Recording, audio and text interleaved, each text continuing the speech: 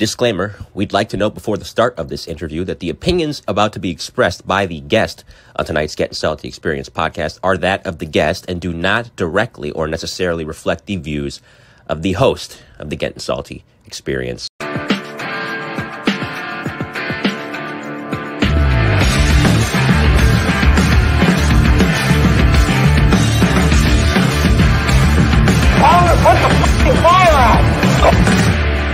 Listening to the Getting Salty Experience podcast.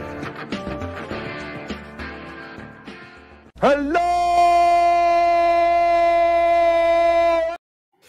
I didn't do it like he does it. He puts his head back. Hello, Bucky Castor. That's who I'm doing the shout out tonight to. That's my uncle Bucky. Welcome back to the Getting Salty Experience podcast. This is the only one that brings the Firehouse Kitchen tables to you, legends, guys that got on in 1960. Most of you guys weren't even born in 1960, but this gentleman. You weren't even born. Oh, that's right. Oh, I oh, right. 72. Oh, by the way, Uh, you weren't even born in 19. Yes, but this guy was doing it, Stephen. He was doing it up there in 1960. I was doing. Yep, I was up there doing. he was. He was up there doing it in Brooklyn. he wasn't even Oh. on a year. He had the he had the uh the plane crash, right? He had uh he had the Constellation. constellation. Yeah, man. What about a shit Yeah. sandwich? You heard Yeah, about first- bad, bad luck Charlie, right? You ain't kidding. That's bad luck Charlie, all right. Oh, he's doing something right. He's 88 years old, so he's might be good God luck. bless him. Charlie. God bless him. Yeah. Well, anyway, Bucky Cast, who I gave the shout out tonight, was my uncle Buck. Yeah, we have a photo of him. Let's let's get it We up went to see there. him. he Me and my brothers, me and my brothers went to see him. Uh, had four over forty years on the job. Started out in engine two thirty two, section two, I believe. Wasn't seeing much fire back then in the sixties. Nah, nah, I wasn't seeing uh, much. Two thirty two. But you know what? The guy in a wheelchair and everything still hmm. loves to talk about the job, bro. Still brought a smile to his face. Yeah. Love talking about putting his sticks up. Love talking about going to fire. There's Chief Steve on the left, Old Man River. Yesterday was his birthday. Oh, happy belated, Steve. Yeah. Big 66, double sixes. That's my other How old- brother. how old is your It wasn't a fireman, my brother on the right. That's Tom. How old is who? Uncle Buck. 86, 87, something He was like a burly guy too, man. If you saw that guy, he was a big burly, dude, man. Burly, jolly. He was jolly. Like a big jolly guy, man. Always at my house. Always, right, Roof? Oh yeah. Always there. He worked with your dad too, right? Wasn't he? He went to, ended up going to yeah. 140. Oh, Yep. he was in the he was a chauffeur. He went to 140. But he was doing it back in the early days. Loved. I told him he should have went to sock. He was such a buff too, man. Loved the job. Loved the job. Was he? Yeah. Oh, big time buff. Anywho, Gonzo's a big buff too. Sometimes. Yeah. Sometimes. Uh, Listen, uh, You know, it's all something we're drawn to, I guess. You know. He only puts like family and Yankees, but you turn you pan that around, and he's got forget about it, bro. He's got the. The Oh, I, I would take the camera and turn it around so you can see the uh, statues and the fire trucks. Yeah, and stuff remember, remember, you told about those patches that you took off old shirts? He's got them all. This guy, right? Can you give him the Gonzo? Oh man, I do have patches too. I, I just I have this shit everywhere. Just you Yeah. know, Wants to play the non-buff, but we know he's a buff. I love the Buff. job. Listen, Yeah, you know the Oh, story. Every so one to- of us. Don't don't afraid to admit it. You chased fire trucks on a bicycle when you were a kid too. Oh, me? Yeah, I mean we all did. Come on, man. I don't know if I did that, but I think I pulled the box a few times. I know that. Yeah. oh, you better Just not. as bad as setting your father own fire. My It's father just- would have slapped you. Yeah, it was probably 140 coming to rewind it. But I definitely yeah. did it a couple of times. It's just Well, as bad as- tomorrow, Ruffy and I will be at the Long Island Expo, Yes. booth 142. And here's a s another little treat for you. On Saturday, if you come sometime early, late morning, early afternoon, Paul Hashagen will be there signing his book, 100 Years of Valor. So come and see the living legend, Paul Hashagen. Have him sign your book, have him sign your shirt. I'm gonna know. be feeding them bourbons. We'll be feeding him bourbons. You want to know what, what to hit him? He'll be signing. Gonna be uh, signing it, Cliff. Yeah. All the best. Love Cliff. Yeah. oh shit. Oh, So come and see us tomorrow, Saturday and Sunday. I know uh, something's coming. I know Procaccini's coming. Yep. Oh, I'm not going in. Well, Procaccini's bringing his old lady. Now you're coming. Oh, Uh, I'm going. yeah. maybe. He's bringing his old lady and a bottle of, of uh, whiskey, Jack? maybe. I don't know what he's bringing. And a A thong. bottle of the red? thong thong. How about a thong at the thong thong? On him or his wife? Uh, you know. Yeah. Oh, I know. All right. Oh, Oh, you know. You know. Yeah. All right. Let's get to the commercial so we can bring uh, Mr. Charlie in. All right, here we go. Established in 1930 and under the current ownership since 1987, the New Jersey Fire Equipment Company handles a complete line of fire department equipment and supplies. Headquartered in Greenbrook, the company operates full 3M Scott service facilities in Ridgefield Park and Toms River, staffed by 10 fully authorized Scott certified technicians with a fleet of six fully equipped service vans. All New Jersey fire technicians and sales representatives are active or retired firefighters, officers or chief officers, career and volunteer. They understand the business and the importance of their work. New Jersey Fire has represented Scott since Earl Scott entered the SCBA business at the end of World War II. Among other leading manufacturers represented by New Jersey Fire are Globe and Firedex turnout gear, Mercedes hose, Task Force tips and Akron brass, Hygenall, fire hooks, Arctic compressors, MSA Cairns helmets, ChemGuard foam, Alco-Lite and Duo safety ladders, BA face shield protectors, Truckman's Choice saws, Grove's gear racks and washer dryers, Supervac fans, RPI, Streamlight, and many others. A New Jersey incorporated and based company, sales and service are limited to the state of New Jersey. Find us now at www.njfe.com. That's www.njfe.com.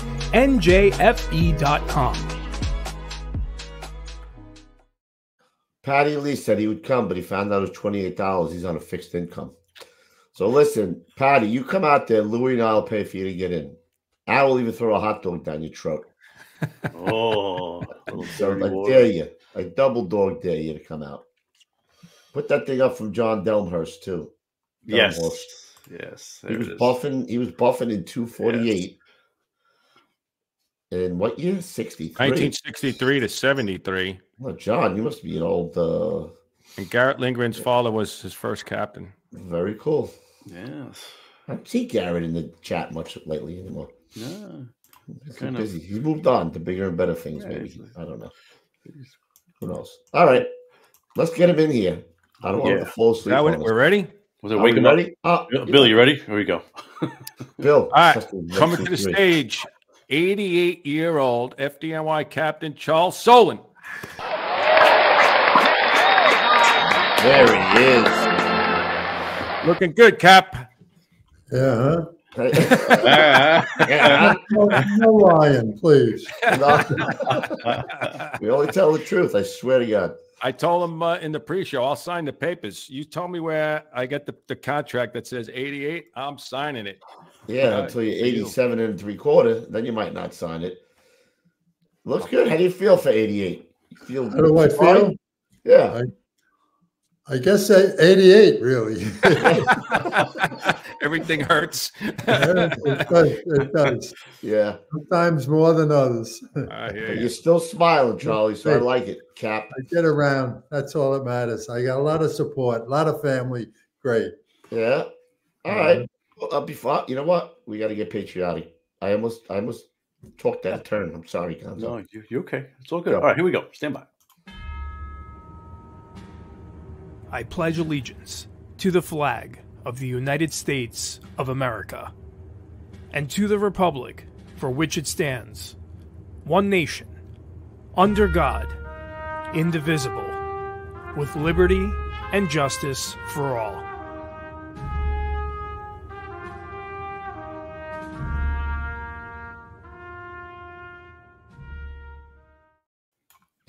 Boom. Still gets me right there. Right, Charlie? After all these years, it still Oh, gets yeah. you. Now we're gonna go back. We gotta go. We gotta really, Ruffy, start cranking the time machine because when we go back, Oh, we gotta really crank the time machine to go Oh, I back wish- here. I wish I had something for that. Let's go back to those early pictures, bro. That, that his son sent us of, of a very young lad.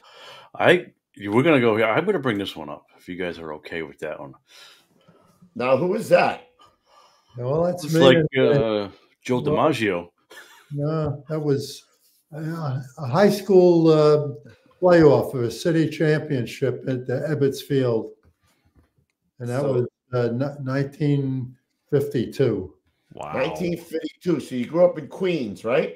I grew up in Queens, yes, Astoria, Queens. Uh huh. I guess I could say uh, until ev- well, I was there while we were married and uh, moved to Valley Stream uh, in uh, '61. Well, it's a while, right? What uh you come from a big family? What what did your pops do? No, my father, well, he worked for a moving van company, and his father worked for this for the uh, same company for a while. But his father delivered coal, and my Wow. father worked as a furniture mover and uh, and a first storage. And and you soon thought to yourself, I ain't doing that, man. I ain't moving no furniture around. I ain't shoveling no coal. that ain't for me. so you played baseball, right? Because I heard your son say Played you went to Sunny baseball, and I guess while in high school, maybe I should have did some more studying, be- but they had me believing I was going to be a ball player. Uh huh. I was doing a lot of things.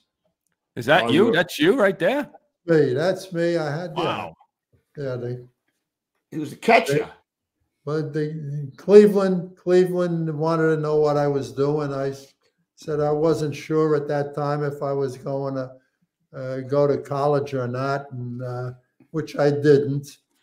And then, uh, uh, well, it, well, I can say it wound up after playing ball. But uh, I guess the Phillies, the Philadelphia Phillies, are the, ones that wound up offering me uh, a, a contract, but it would they, they wanted to give me two hundred dollars a month and send me to class, and I said no, that's not for me.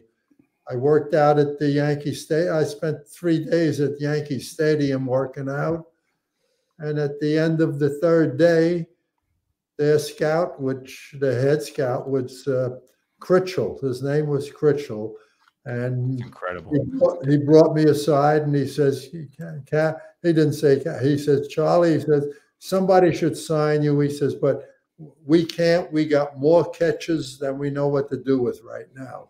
And they did. When I look back at their system, they had catches all over the place.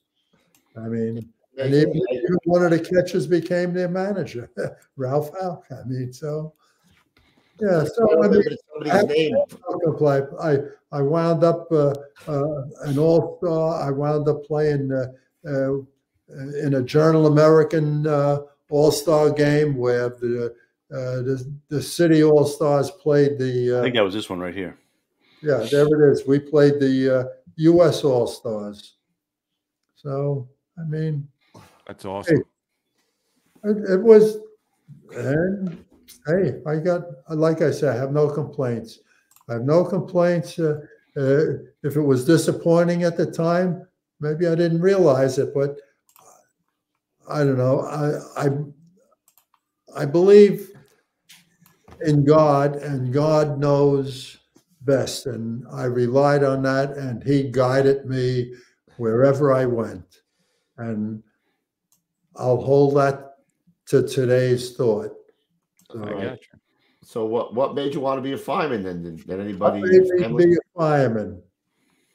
I had an uncle. His, his name was Vin Haley, and uh, he he was uh, uh, he was the husband of my my aunt. My aunt was my father's sister. Well, anyway, Vin Vin Haley was a uh, a, a custom inspector, but he liked the fire department, and he be- he belonged to what they called the Bell Club. Yeah. And the Wow. Bell- The Bell Club had had a room in one of the hotels. I forget the name of the hotel, but he brought me to that room. And when I think of it, I look at that room. It was wide open, and it was constructed, and it was positioned like you would go into a firehouse. The house watch desk they had with the bell system. They had a sink. They had the coffee. They had a table. There was, and the members members would frequent this place day in and day out. and they would monitor, and they would take turns at the house watch desk, like they would in a firehouse. And they would sign a journal. They would re, they would record the alarms that came in, and they would say, "Hey, we got a fire at such and such." And if it became a magnitude of fire, I mean, a, a, a, fire to talk, that these guys would get up and get on their way to the fire. And at that time, the Bell Club was recognized that they were given uh, IDs that could get them within the fire lines. I mean, a lot, let's face it, the public is, there's a line drawn and nobody goes within those lines. But these, these members or whatnot had IDs and they were, they were allowed to get, go into the fire lines. I never heard that. Well, I that, think wasn't Sarno's father a fire uh, a bell club No. my uncle, no, his, his son became a police officer. I think you might be right, Coob. Yeah. All right, so you go to the bell club, and that that's when you got bit by the bug. Well, th- that I, yes, that- that- and also I, I wound up, I worked for an electrical distributor, Graybar Electric, and, and while I was there, things were happening, and uh, they were an employee-owned organization, and they, they had salary bonuses, but they, all of a sudden, it became that you had to be 30 years of age, and you had to have five, five years or more to get the maximum of, of their bonus. And I didn't, I didn't fall into that category. So I was, I would say PO'd, right? Yeah. So anyway, I wound up, I, my mother-in-law, God bless her, um, one night we're talking and she knew I was unhappy. She said, Charlie, then you got to go civil service. You got to go with the civil service. I said, well, sanitation? No, I don't want to pick up people's garbage. And, and the way it was, the police department, they would no cause. There was guys that were given a post and they would walk, in the post, right? Yeah. walking post. in the beat. And if there was uh, bad weather, they would be standing on a corner. And I said, no, I said, I don't want to be a policeman. I said, and they said, well, fire. I said, well, fire, yes. I, I, I think I'm going. So I wound up taking the test and the rest was great. History. The rest we'll get to. what what year did you take the test? You got on in sixty. Do you remember when you took the test? I got on the test. I believe that the, uh, it might have been 58. Fifty-eight. 58, I believe the test might have been. And uh, I, I got on. 1960. I, I think I might have been, I, I might have been on close to the middle of as far as uh, the list, and everything. and they I- called you. I got I got appointed then in uh, uh, October of uh, 60. Uh, they swore us in on the 26th, effective the 29th. How does he remember these things? I, I don't remember what I had an hour ago for dinner. I swear to God, I don't. I'm like, what did I have for dinner an hour ago? Wait, what, what are we doing right now? I, um, I guess my family can. I'm a little nutty with figures and nuts. I could probably go through 18 grandchildren and tell you their birthdays. That's crazy. I mean, this this is the way it is. There's different telephone numbers. I know. combination. I tell you, hey, I, I tell you, hey, I could tell you about how did I get to 104? There's a story behind it. All right, let's Hold- not get to hold- that yet. hold on, let's We'll not push speed up. cart before the No, horse. I don't want to rush on. No, All No, right, we don't want to rush on. question, Make it easy. We don't want you to rush on. What was the starting pay, Charlie, when you went? what uh, the starting pay? I think $3. was 3,800 a year. Wow. Thirty-eight hundred a year. And then that was in October. And then January 1st, there was a pay raise of $200. So January 1st of 61, the, the, the, the pay was $4,000. So Hmm. that's where it was at that time. Well, he didn't go to the firehouse uh, uh, right away, Oh, right? back then you would go right. You'd go to a, a firehouse first before the academy. No, I wound up when our first day I had to go to the 11th division was in the quarters of 229 and 146. And there had to be 15 or 20 of us. Uh, hundred, a hundred were appointed, and they guess they split us into 50. 50, 50 were going to school pretty much right away, and maybe it was alphabetically. Being uh, I was Sollin, and I think of the some of the names, Pollinger and whatnot, towards the end of the year. But anyway, we uh, uh, some of us went to the 11th division, and others others went to different divisions. Well, when we got to the division, the the deputy came down, and we wound up each given a folder, and each folder was we were given a what they called a this is your base company. My base company was ladder 106. So I had to go to report down there as soon as they dismissed us.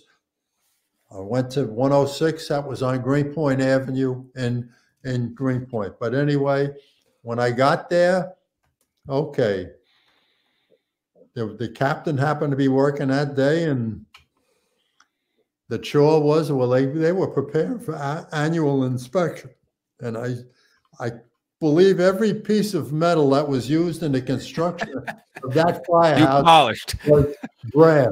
That's what I did, I think, for the whole day was polished brass. That's it. When you, and, and at that time, the firehouses, they weren't given rags or anything. There were balls of twine that would just, I mean, if you if you took it apart, you would be get a string. You would get a, a, a ball, a, a string. But they were, but anyway, we polished, we, I polished brass. And we didn't, the first day there, we didn't turn the wheel.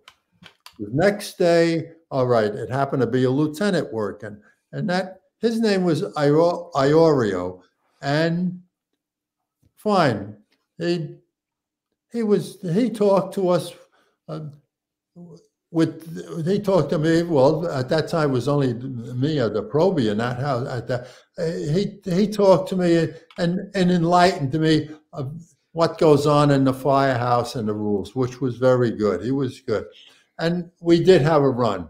We wound up with a a, a rubbish fire that was uh, in a vacant lot, but the fire lapped up onto the side of the building, and we had to uh, scrape the shingles down and everything for the engine then to uh, um, wash down.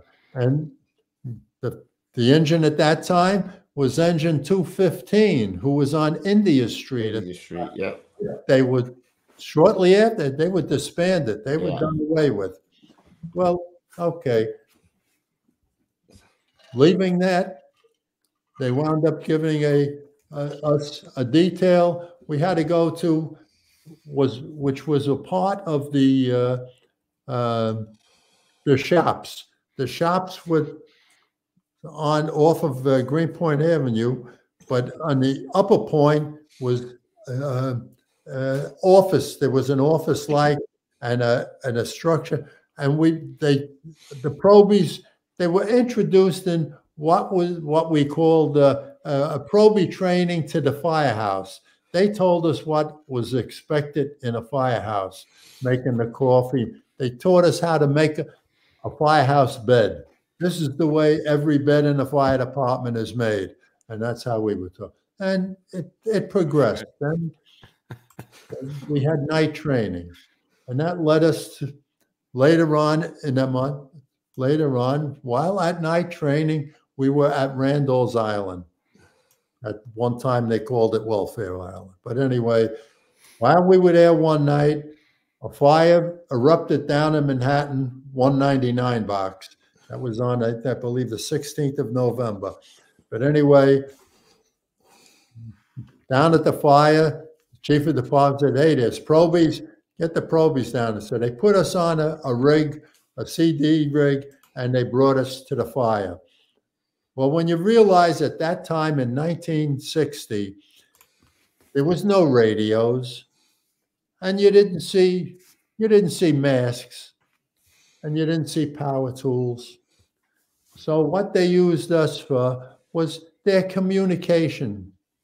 So they broke us into pairs, and they A came over and said, "Hey, the chief wants you to go to the, the roof of this building where they were operating a line across the street. Now the fire was Grand and Broadway in Manhattan, and they were they had a line, and it was going in across the street into the fire building. Now this building was a textile building. Uh, it was, I believe, at least five stories, and it was. It seemed like it was fully involved. But anyway, we get we get up to the roof, and I said the message was by the order of the chief of department, shut down. And the engine company, who the heck are these? and then one guy says, "What? Dude, is he saying the chief of department?" Well, okay, all right, we're, we're going to shut down. So we go downstairs. Yeah, fine. Every well, it wasn't. How many minutes later? Get back up and tell him to open up. Back upstairs and tell him, open up. Oh yeah, yeah. Now that's up. So, you can imagine the comments that were made over things like Oh that. my God, that's Okay. awesome. We get back down, we get back down, and then all of a sudden, hey, go up to the third floor. There's a company operating a line, which they were, out the window across the street, and relieve that company. And the two of us went up there, and I mean, okay, so we held the line out the window across the street, and only it didn't seem that much uh, later. They came up and they said, "Hey, they want you back down on the street." Well, I mean, when you think about the time elapsing and whatnot, finally the building was. They they said, "Okay, it's under control." But in the meantime, there was three firemen missing, and so they're searching, and they did recover them. They've recovered them in the basement. Now, imagine this huge textile building. When they got deliveries and it went into the basement or the cellar of the, the there wasn't conventional steps. They just had chutes.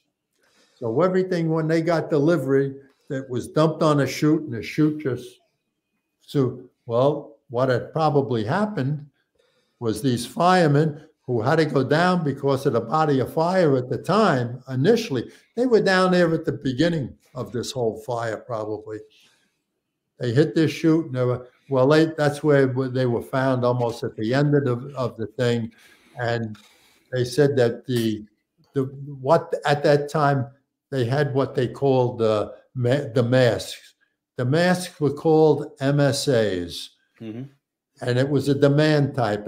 And an MSA was it was MSA because it was called mine safety apparatus. This is what the coal miners used when they were digging in.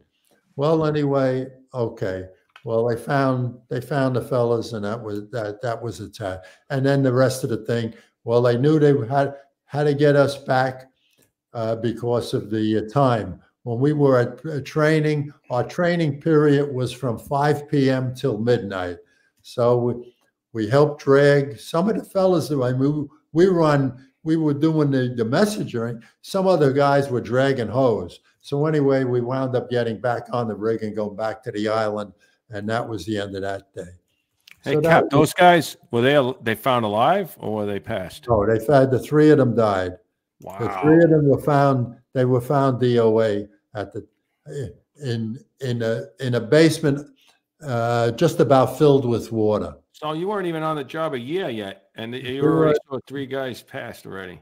Right there was the three guys, and we finished that that probe. That part of the training was called uh, engine training because it was fittings.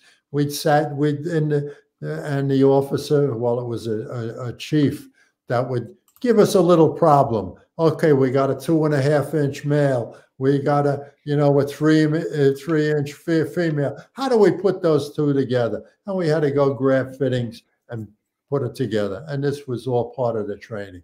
We got out of there, and then they sent us to 68th Street. Behind 16 truck was this big open yard, and they gave us ladder training. They put up an aerial. We would climb the aerial with without a tool, and then with a tool, and and the handling of uh, uh, of portable ladders. And at that time, most of the portable were all truss wooden truss ladders. We didn't have metal extension ladders at that time, and they would they we were instructed on how to handle that, how to bridge, how to carry, everything. And of course, the fire department had the so-called life nets, and they would. Let's face it. When you look at it, it's, it's quarter full. Well, you had to open up and then open it up, and you had this ten-foot ring. And okay, all right. Who wants to? Okay, I so here I'll go up and jump. I go up to the fire escape or whatever it was, and I I jumped into the net. And the officer says, "Thank you." But a part of that, another part of that story. Now I jumped ahead. It was very when we first got there.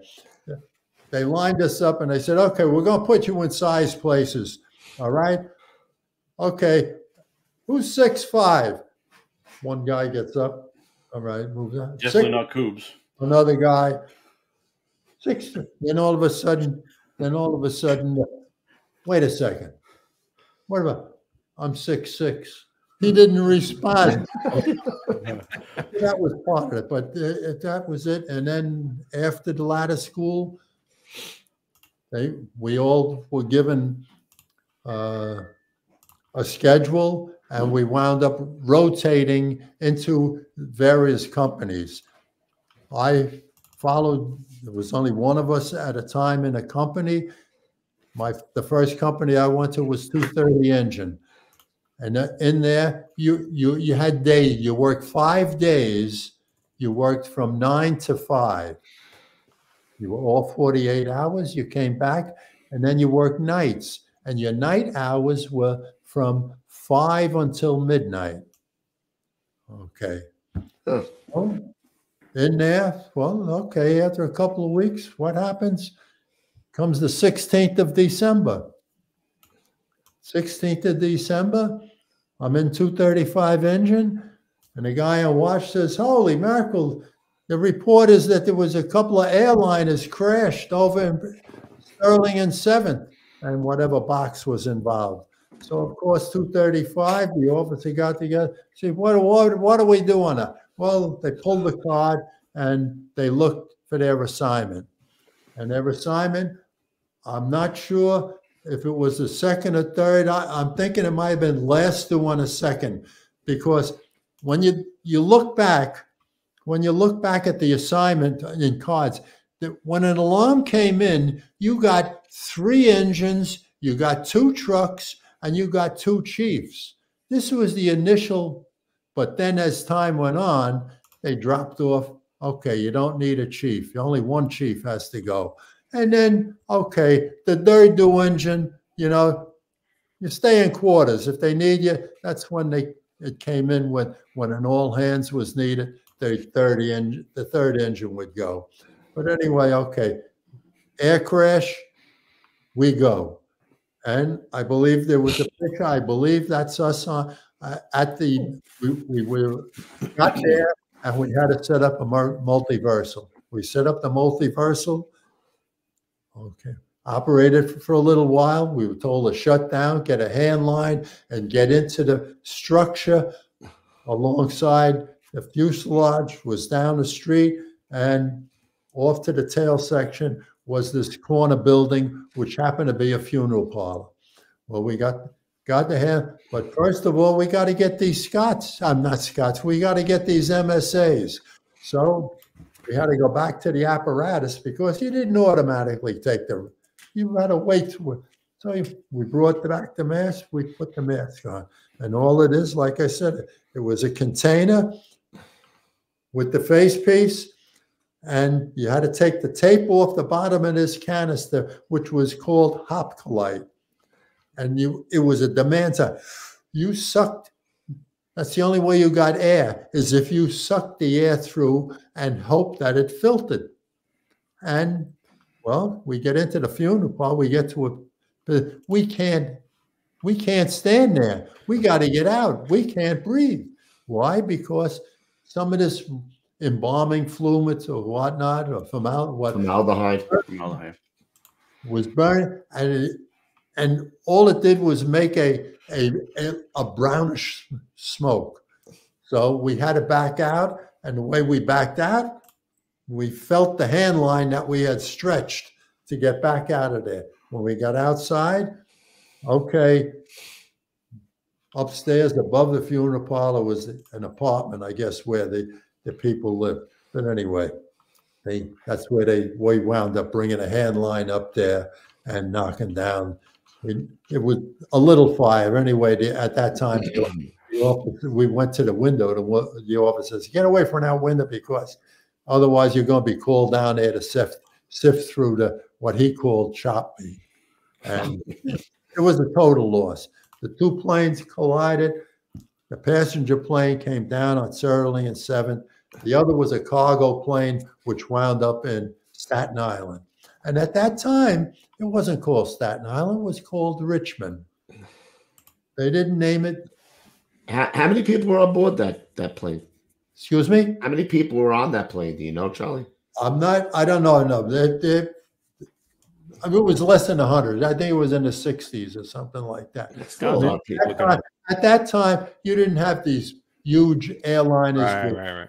large compa- you know, capacity. So Hey, Cap, I want to ask you. So, so first off, uh, your son just sent us the picture. Gun, show the picture of the three guys because I don't even know if I even know about this fire. So we got this is the fire that you were at. uh, The guys that were in the basement. yeah, uh huh. Engine 30 was it? Uh, I only have two names here that I see. Yeah, it's kind on of it. cut off, but at least, uh, I mean, what were you thinking? I mean, you were at a fire, one of your first fires where we had three line of duty deaths, and then you go out to the field and you have two planes collide in the middle of the borough. Like, what, what, what, at any time did you say, holy shit, man, I don't know if this is for me or what? That's it, you know, and uh, that was it. It was it was you know became part of the job, and maybe that is some of the things that you wind up it being instilled to you that this is what's going to go on now for the rest. Right. And truthfully, I guess I liked I liked it because I wound up Yeah, in scary. That would scare most, most, most people, I would think, but, uh, you know. No, no, my my father-in-law, God bless his soul, had a had a good friend, a very good family friend. His name was Walter Wagner, and he spent his whole career in 23 engine in Manhattan. And he retired. And one day at my father-in-law's house, he says, Holy mackerel, he says, I spent uh, and whatever number of years, and you've seen more in a month than I've seen in 20 years, which was true. Uh, yeah. 128 people were killed and six on the ground. See that? Six people on the ground, right? Wow. Yeah, I remember that. I mean, we've had a few people Yeah, that were at that fire. There you go. See? I mean, So then again, uh, right after that, again, we've had a few guys who were, three, three days later, then, yeah, okay, now I'm, I'm going into night, a night tour, and is crazy. 235, it was the Constellation, the Brooklyn Navy Yard, an aircraft carrier being built is burning.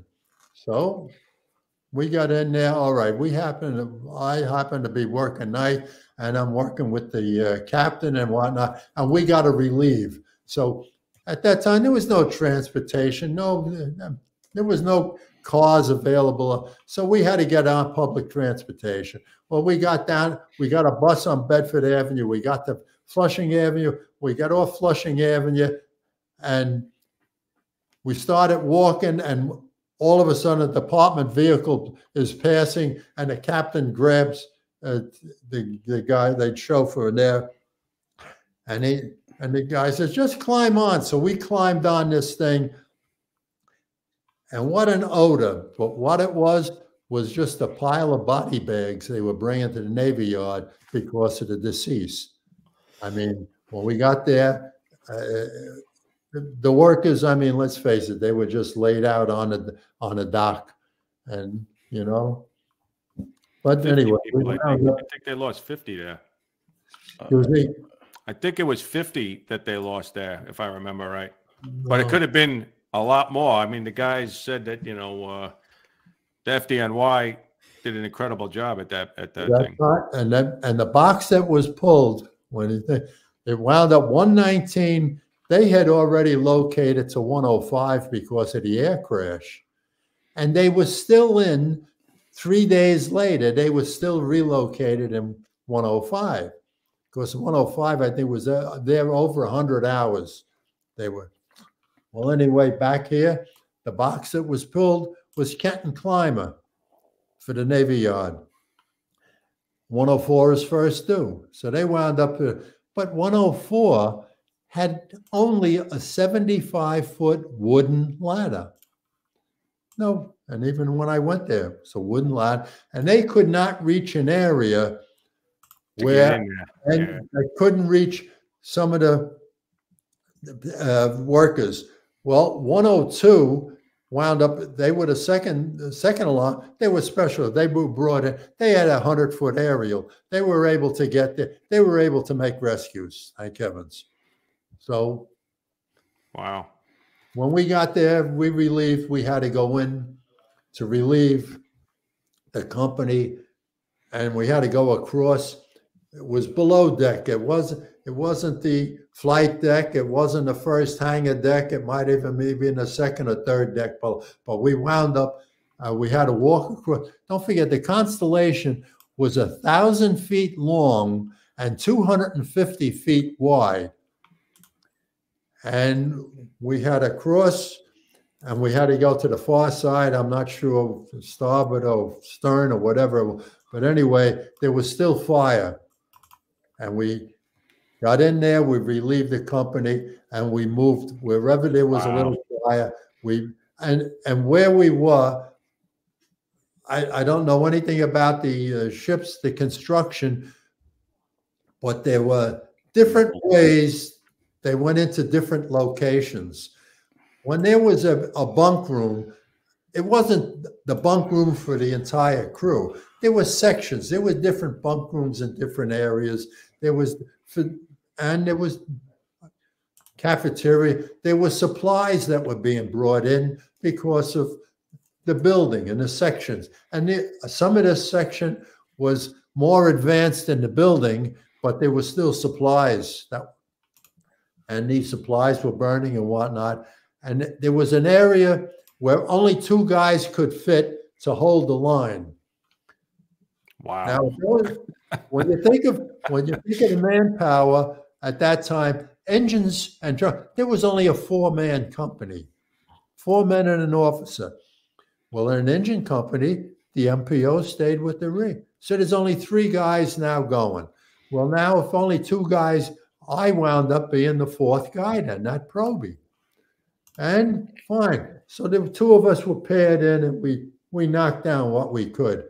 And we'd last 15, 20, and then we came out and another two guys. And we progressed to as far as we could. And during that point, we met rescue. and rescue passed us and they said, Yeah.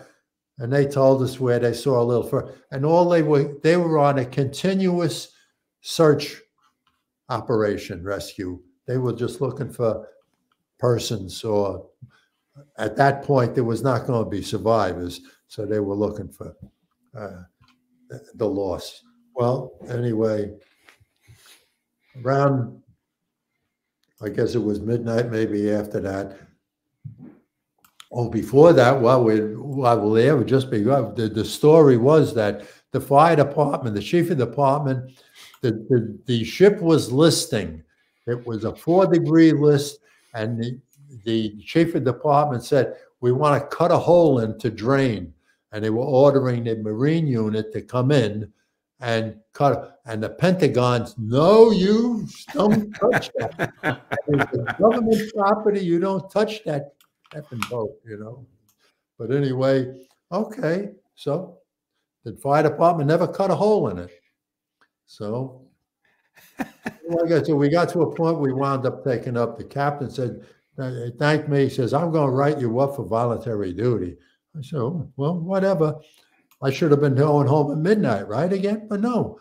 So I went to the firehouse. It was whatever. I might have been two, three o'clock in the morning.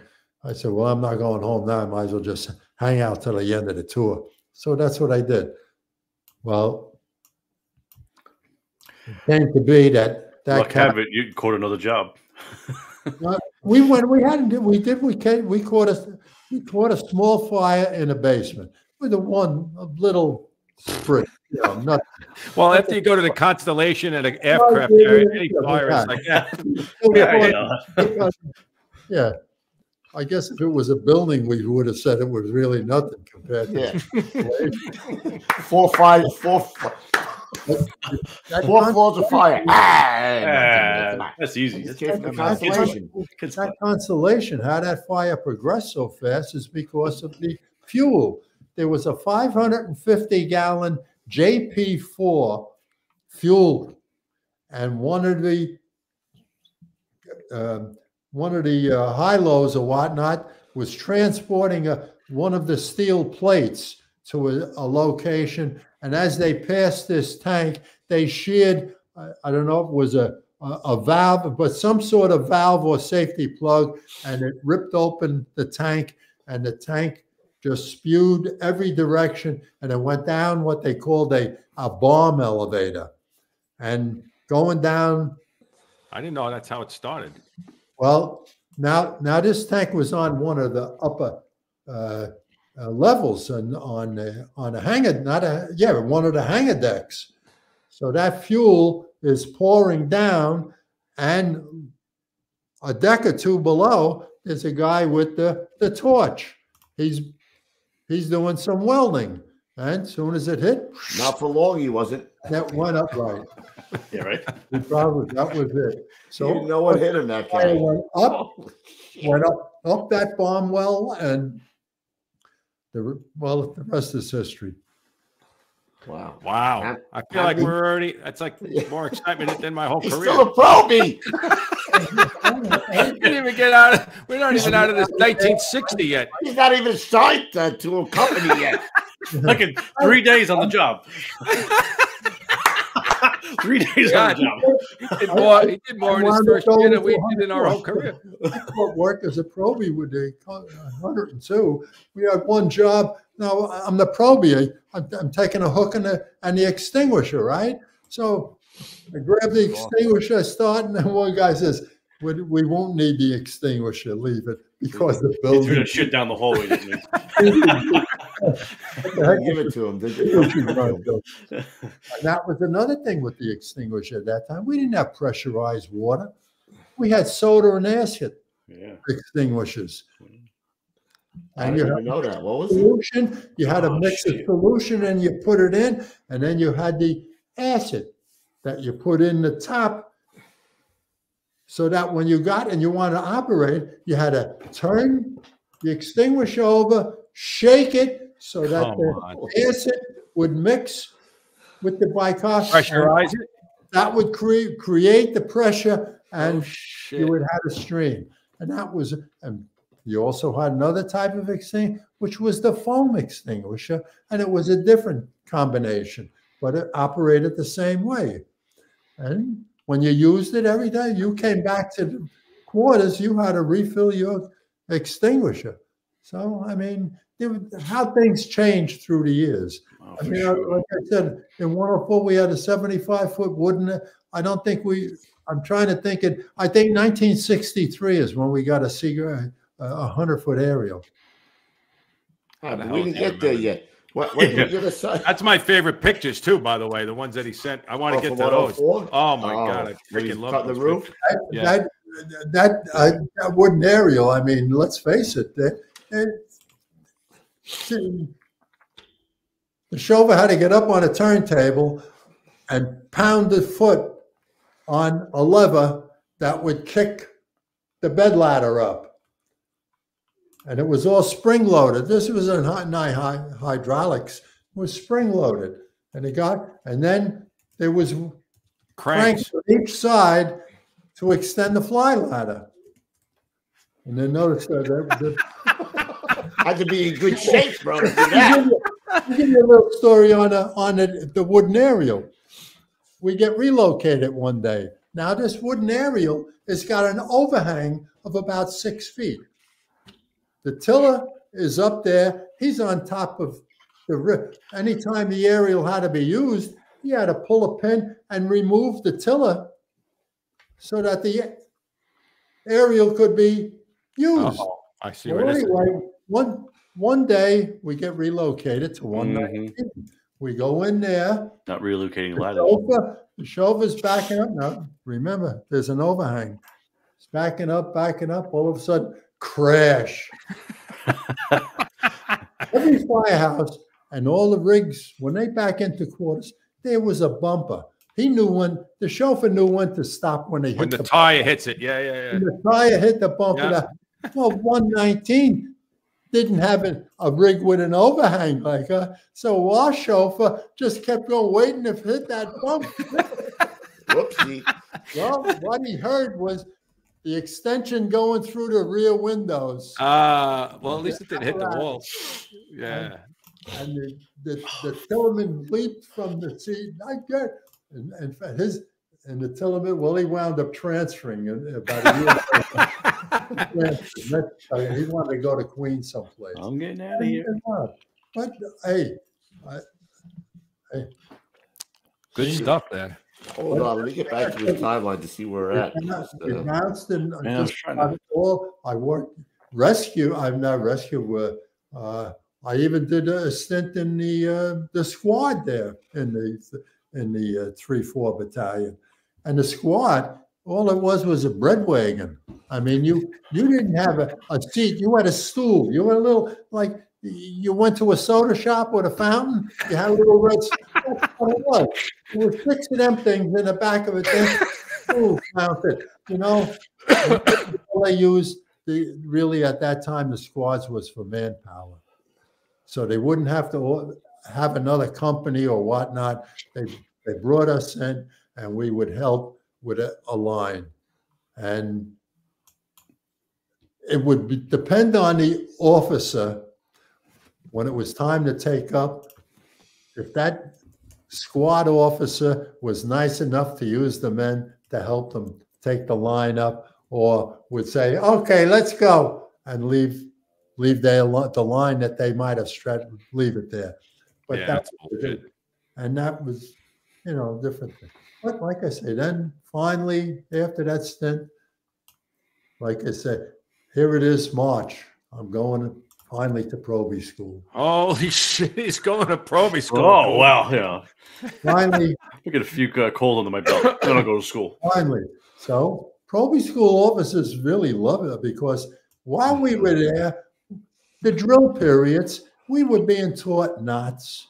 We were being taught whatever was available in the firehouse. If it was a truck company, it was the, the truck tools. So when we got to Proby school, some of these officers, when they went to teach us knots, they would use some of their slang or something. And yeah, uh, you a wise guy? Let me see you tie. And one of us would go up and we would tie a knot that they were trying to teach us. But this this was it. And Proby school, six weeks. And the biggest the biggest thing while in Proby school was getting the use of the MSA mask. How to use because they most of- most of the island at that time was vacant hospitals. So what they did, they tell you to don the mask. No said, just run up the stairs to the roof. No fire involved with the mask on. What? Who? Let's see who can get to the roof without pulling the mask off. Some of us made it. Some guys didn't make it because suck. By the time you get up, you're sucking air like you all your work. and and the other part was getting used to a, a hose line with pressure. You know the back. You open up a line. You got a belt if you so you get used to pressurized lines, and that was I, I to me that was a biggie. That was a big one instructor. Well, one of the guys when he opened up the line, he let it go, and that line the instructor is alongside, hit him in the ankle. It's it smashed his ankle. He went. So Yeah, that's no joke. No. I wound up and okay, I went to 104. Now, there's a story behind. Somebody knew where I was going the first day I got on the job. Hmm. Really? And I'm saying it's Or the- fake. Mentioned it. The fixer. I was given dir- directions how to get to that 11th division. Was I given the right direction or did I misinterpret it? But I wound up on Havemeyer and South 4th Street in Williamsburg. And when I got off, I said, Oh my God, I'm supposed to get to Richardson Street. I asked Sevilla, I said, Hey, do you know where Richardson Street is? No. I said, Oh my God. I said, Here it is. 20 after eight. I've got to be there by before I know. Okay. I said, Well, I'm looking for a firehouse on Richardson Street. Well, that was a definitive word, firehouse. You just go down to South Second, make a turn, a couple of them. Well, when I went down South Second, made the turn and went over, when I got 104. out of my car, 221 and 104. I asked the guy on watch. He gave me the directions down there. Get to North hmm. 11th, make a right there. Got me to Richard Street. I got there by 20 to 9. But I said, what? And when I got in, To go back to that spot, right? That's I crazy. said, holy mackerel. Huh? To go back to that spot, like after you were there already to get the instructions, like that's crazy. It was. It was. I tell Hey. you. And hey, 104, it weren't the busy. When I got there the first year, I don't think they had a thousand runs. Really? really. But it progressed. Neighborhood changed. Different groups of people moved out, and other groups of people moved in. And situations change. Fires. We started getting fires. I talk about some fires there. I seen. I, I witnessed some decent rescues that would today be written up. Back then, things weren't written up as free. Old hat. Yeah. It was all, and we had we had two, especially one Lieutenant Moran. We come out, he would say, "Good job, fellas," and we knew he would. If anybody said anything, he says, "That's our job. This is just the way it is. That's the way it is." And I can say, uh, on a whole, I would say we did. I think we did a good job. We did. We weren't the busiest. We became. We finally made, and I forget the year, but we finally made the top twenty-five in workers. And the reason we made that is because the TCU units came into being. At that, the TCU tac, Tactical Company Unit. That's what they called them, TCU. And the one by us was in 102. So that TCU was called TCU 702. Seven, of course, being a truck, right? And engine had another one. But their hours came in, they worked, their hours of running TCU was from 6 p.m. till midnight. So 102, they weren't running, or if they run, it's because there was another another box or another fire, and they had to go. And that was on. They were almost like a second a second section. But that was the year that 104 wound up making making the t- number 25. We made number 25 as on workers. But other than that, Hey Cap, who were who were some of the guys there? excuse me. Cap, who were some of the guys there that you remember when you first got there that stuck out to you that uh, helped you a lot? first- My first, when I got in there, the, the captain, his name was Yutensky, and he was the pro. I was being I was a pro. He wanted me to travel to and from in Proby uniform, the type of uniform that the Probies wore, and he he you and the fellas that were in there. Uh, there was one guy I, I would say that was young, but there were the, the old timers. It was like uh, Gene Flaherty, uh, Irv Lundgren, Steve Simkowski, uh, Charlie Pensack. I mean, uh, there'll be a number of guys between both com- with the the skis, the SKI at the end of their name, and you knew they were the Greenpoint. Yeah, boys. those are Greenpoint guys, right? Exactly. Right, Polish. So, but it was uh, good house. No, hey, there, hey, there was the colored or the black or the African Americans and whatnot. They would there was few of them, not but they were there.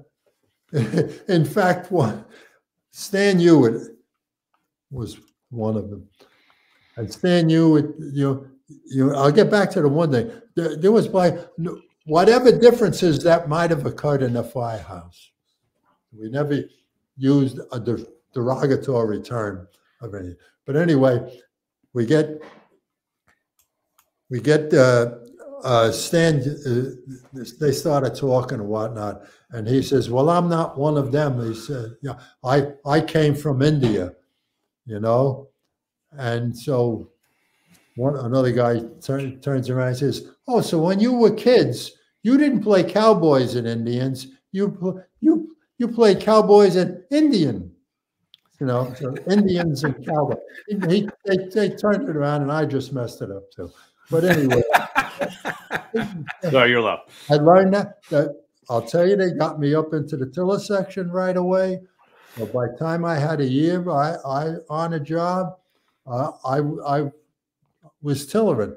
And when you tiller and leaving that firehouse, not every firehouse, I don't, maybe nobody will ever remember, is what they called on the side of the building was what they called a slap switch.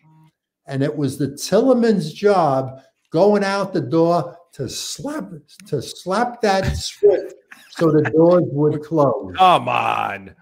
That's what it was, and that didn't last too long because I'm sure. the neighbor, the neighbors all of a sudden knew that nobody would be in the firehouse. So before those doors actually really closed, They could sneak in there. Yeah, in and do yeah, that and a couple of Tillermen lost their arms, so that is. so that was the end of it. There was, there was time. Then the- there was a time. So you're the Tillo man back there? Anyway, I'll say Gene Flaherty was most of the time he was, if you were working, and also at that time, when you, you look at it, there was only an eight group system in the firehouse. Groups one to eight. The officers' groups were one, three, five, and seven. I happened to go into group two, so I had I worked with one officer one day, and my second tour, I'd be working at with the other officer, the way it worked. This is, and this is the way it was a 24 group system. And because you look at it, you only had four, you only had four guys, but there was no overtime. Overtime didn't come in until 1972. Hmm. So that played really, before that, played havoc, mostly with the, the poor engine. Hmm. Because during that time, there was there was no Verrazano's Bridge. There was no, and let's face it, in the spring, over in Staten Island or Richmond, whatever at that time, there was tremendous brush fires. Lower Manhattan would be sent over to Staten Island. They would have to get on a ferry and they were transported over there. Well, 221, they wound up relocating to Manhattan. Sometimes those things in Staten Island got so 21 had to get on a ferry and go over there. When it came time to quit, you're on your own. The job didn't say, oh, this, or take your rig and whatnot, blah, blah. No, that was it. That was their attitude. I mean, later on they started changing things. Yes, thank heavens. Uh, that's crazy, huh? If in the firehouse, there might have been a guy say, "All right, use my car. Let's go." They would have, to go down to Manhattan to the pier. What had happened was the guys would be able to get on the ferry and get back to Manhattan, and the member who allowed his car to be used could use his car to get back to quarters. But now the guys there had to go back by ferry to get the rig. The rig is still over there and do whatever they had to do until they were told to take up.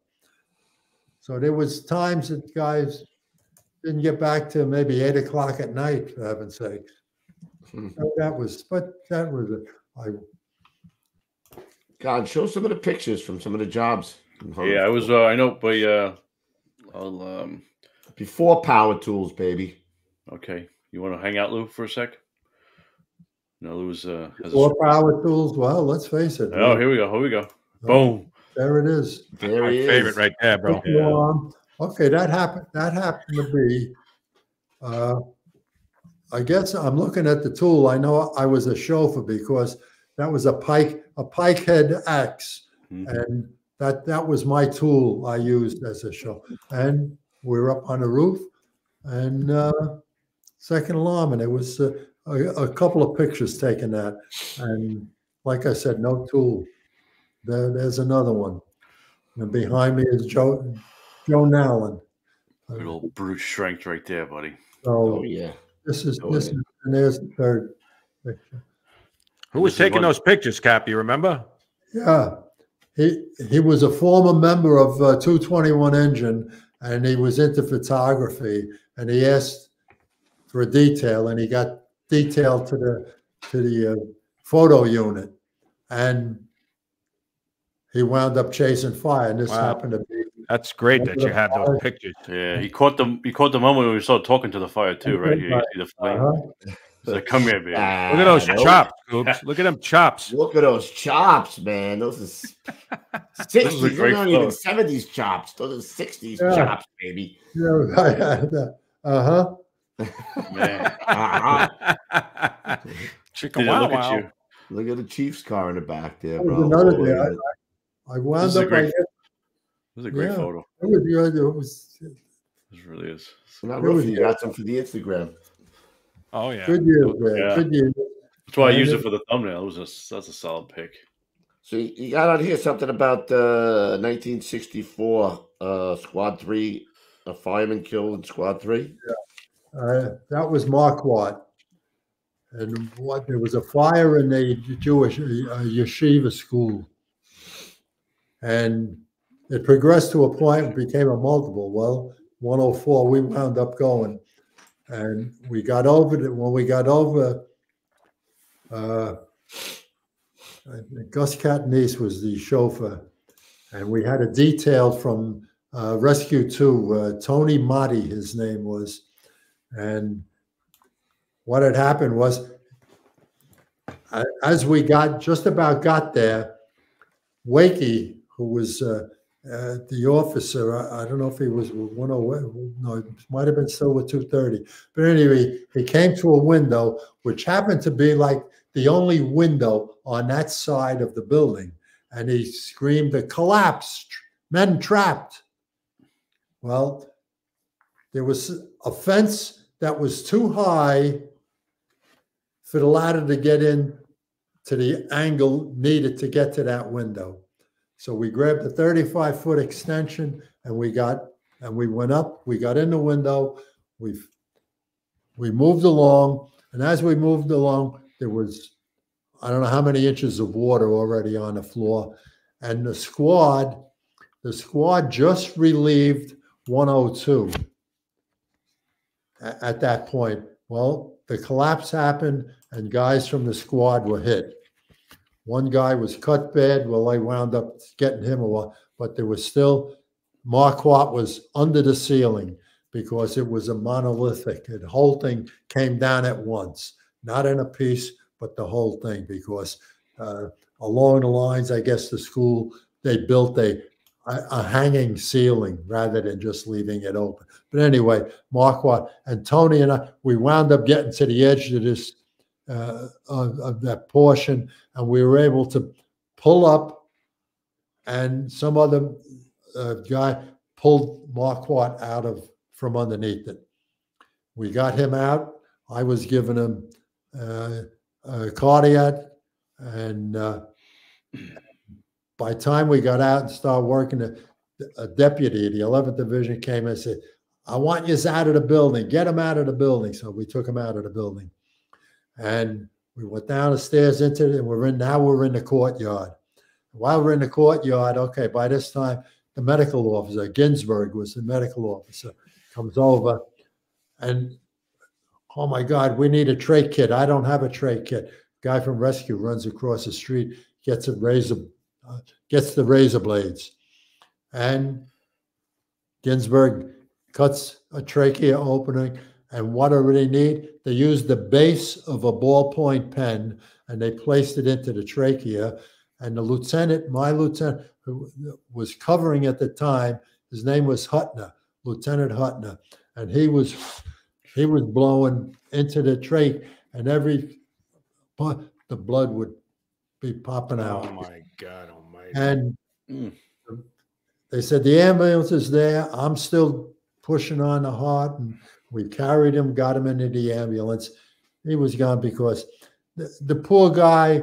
I mean, I mean, getting hit the way he got hit and whatnot. He, there's, there's a, to describe it, bile was coming out of his nose and ears uh, from the, the trauma involved, and uh, I believe he was gone, but they couldn't they couldn't pronounce him uh, gone until he got to the hospital or a doctor examined them. So, but that was Marquardt, and that was 1963. Wow. Jack, uh, Two years on the job. holy mackerel! Yeah, we yeah, I, I and I moved on. They I, I sent me to. Actually, I went to chauffeur school before I was first grade because a couple of the chauffeurs, one uh, got promoted, another another to the same the same group. Uh, Joe, Cl- he he went to the fire marshal. So, so there's two, and that other fellow I tell you, Scott, he he he was a chauffeur. He he got transferred. So Moran, the lieutenant, that one night he says, "Hey, did you ever drive?" I said, "Yeah, okay." And I on a side when I worked on the side, I worked with that where my father worked, moving company. But anyway, I, I drove their truck. So I said, "Yes." So he, hey, Gus, let him let Charlie drive, and that's what I wound up. I was, and I learned standard transmission with a wooden ladder, and I wound up. I wound up going to chauffeur school.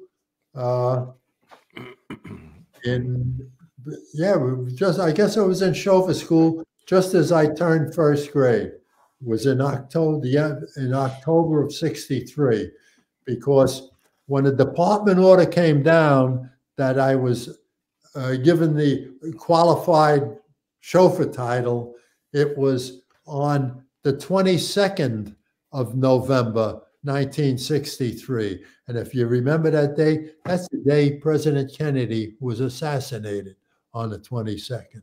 Mm. The 26th. It's also one of our granddaughter's birthdays. But better this- remember. and okay, I wound up being a chauffeur. Yeah. So when details came in, I wound up being detail. But hey, that was part of it. And then the uh, one point, the uh, the chauffeur there, he Sam Giamo got promoted.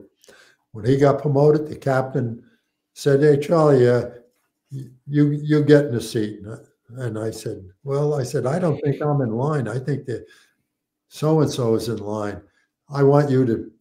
And I went to the other fellow and I I said, "Hey, Tom," I said, "I don't know what he's doing, but uh, and said, Charlie, perfect. It's just the way I would like it. I don't want to be, you got it. And I wound up, and Okay. I and I, I guess that was good years for me because uh, I, not to say that, I love to use it. That aerial, I every chance I saw smoke or something, I was putting the aerial up and going through a window or something. One, one job, it was only food on the stove, but the smoke was coming out. And it, as I'm going in, it was the chief that, okay, truck, that's it. We don't need it." Take the glass, Cap. Take the glass. I always say it. With the new rigs, though, they had, they had, you had a bed ladder pipe already man, mounted to your bed ladder. The captain liked to drill on that at time when we went out on drill, how to put that thing into operation, as well as putting. A, we also carried a fly ladder pipe that we could put on. Well, we had a fire, vacant building, three-story job, only not even two blocks from the firehouse. So we were there in no time. Engine found a, a hide. We said, put Set the, it up. put the bad. Not only that, 119 had gotten a tower ladder. And when they came in and we had a bed ladder going, they were moaning and groaning. Yeah. They wanted to get the tower ladder. But You shit on that birthday cake, Cap. and we did things. I mean, hey, let's face it. Eh, where there, where there were boxes, you knew who were com- was coming in. If you knew you had a chance to beat the, That's it. Ah, there you go. it. Ah, you That's it. it. You That's what know, I'm talking about. That's and that's what you did. They did the same thing, and we did the same thing. All That's what fair, baby. about. There was there was companies that would search their their their response area and try to figure out a way of getting you knocked off the response and them in and grin. So, we did a lot of this. Now I'm excited. 108 went to a new quarters, and the new quarters were at the end of my our 104's administrative district. So, I mean, we played games. We go over there, they're building a new firehouse. We put we would put a, a condemned notice on there that you know this building is condemned, you know. But uh, that was it was all good fun. Good fun. And hey, guys were good. They did we did we did jobs. Hey, we got hey, we got I guess unit citations. We got a, a number of them, and What Yeah, about your, uh, what about your class three here, though, Cap? Your class three in seventy-one. I I wound up. Uh, uh, let's face it, uh, over. Uh, uh, what the heck year was it that I wound up uh, with a roof rope rescue? Wait, before we get that's seventy-three. I'm Yeah, I was gonna say, don't do it. Don't. Which one are you talking about? I'm talking about your uh, Oh, your the class three? three that class three that you got in seventy-one, I There it is. Driggs Avenue. Yeah, Driggs. Well, we we came in, company, everything. I wound up. I like I said, I I, I wound up uh, being a chauffeur. I got in. It was a new law. I went down. I went down the uh, uh, driveway, and I'm in the in the courtyard, and the fire is coming out the first. It's into the second, and okay, I got to get on that fire escape. So I used my tool. I was able to release the uh, the fire escape drop ladder. So the fire escape, I went up, and because the way the fire was uh, lapping up, I couldn't use any other any other step uh, uh, stair for the fire. So I had to climb over the railing, which there was a window, and I got in the window. And when I got into that window, th- there was a a family in there. There was the mother, father, and two kids. The two kids might have been three and four years old. Now the fire is lapping around. It's getting it's getting hot, and they don't want to leave because what went on is when when apartment people were running out, the bandits were running in stealing, mm. and this this is what happened, and this is what what happened with vacant buildings. If one apartment became empty, that's the apartment they would set on fire and everybody else around it would be running out and they would come in and steal. I mean, I went in the building uh, I'm going in the building and somebody's coming down with a television on their shoulder, and you know it wasn't there. But this, this is this, is- or they steal. They would steal anything. And all right, so this particular, I, I get into this apartment and whatnot, and they don't want to leave. And I said, we got to get out of here. We're, we're choking. Everybody was starting to choke. There was no mask and whatnot. So I grabbed the two kids and I told them, I'm leaving. Grab my coat. So one of them grabbed my coat and we we got out of the apartment. When we got out of the apartment, the engine was in in the the other apartment, and I eventually it had to come. in. Well, I was written up, and that was it. That's how I got my three. So there was other times. Hey, that was one. There's other times I thought I should have been written up. Nothing. I think everybody's had those cap. You get stuff sometimes for something you don't think, Hey, it happens. It happens. and stuff you think you should have got it, you don't get it. That's what happens. But hey, Now we can talk about the roof rope. January 15th, 1973.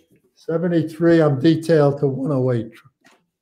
At that time, all right, I don't know, it was detailed, uh, well, I was, I, guess it might have been overtime because there, now, the picture that's there is Pudgy Walsh, there's myself, and there's Arnie Merkich. Arnie Merkich was in Rescue 2 at the time. And this here is a reporter from Channel 7. And he's interviewing us. In the apparatus is Gil Murtha with a mask on, an oxygen mask. Okay, what had happened? This fire, I they they gave me the roof, so I'm on the roof, and at that time, at the time, as you can see in the picture, that there was radios. When radios were distributed first, two two two radios to each company. In the engine, it was the MPO and the officer, so the officer could call for water. In the truck, it was the officer and the roof man. So the roof man could let the officer know the roof is opened up or whatever situation is there because he's overlooking a building. So, okay, so uh, the fire was coming up and one, one of the, at that time, the chauffeur, when there was a fire another, that one of their jobs was to carry a roof rope to the roof to the roof. So Gil brought the roof rope up. People are trapped in that apartment, a mother and child. And so we're going to use the roof rope. It's going to be a, a, a roof rope rescue. I said, Gil, I'll go. He says, no, no. And I said, okay, your company, your roof, your rope, go. So hooked up, put them down, got into the apartment. By yourself, nothing entitled to. So what happened is I'm I lowered him. I have nothing, I can't tie off anything. Well, I'm down there. All of a sudden I said, Holy God, where Gil? So I get on the radio right away and I said, Hey, Gil left the rope. He left it, you know, he took left the knot.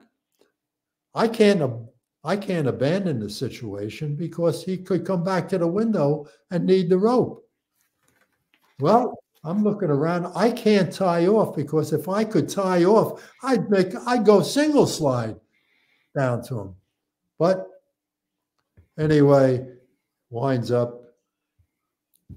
The rescue was made. The people got out, and Pudgy. Pu- well, the Pudgy and the officer, uh, they did a they had a good part in it too. But being with- it was a roof rope and whatnot. Gil Gil got uh, he got a one. He got a class one. He got a national award on it, and fine.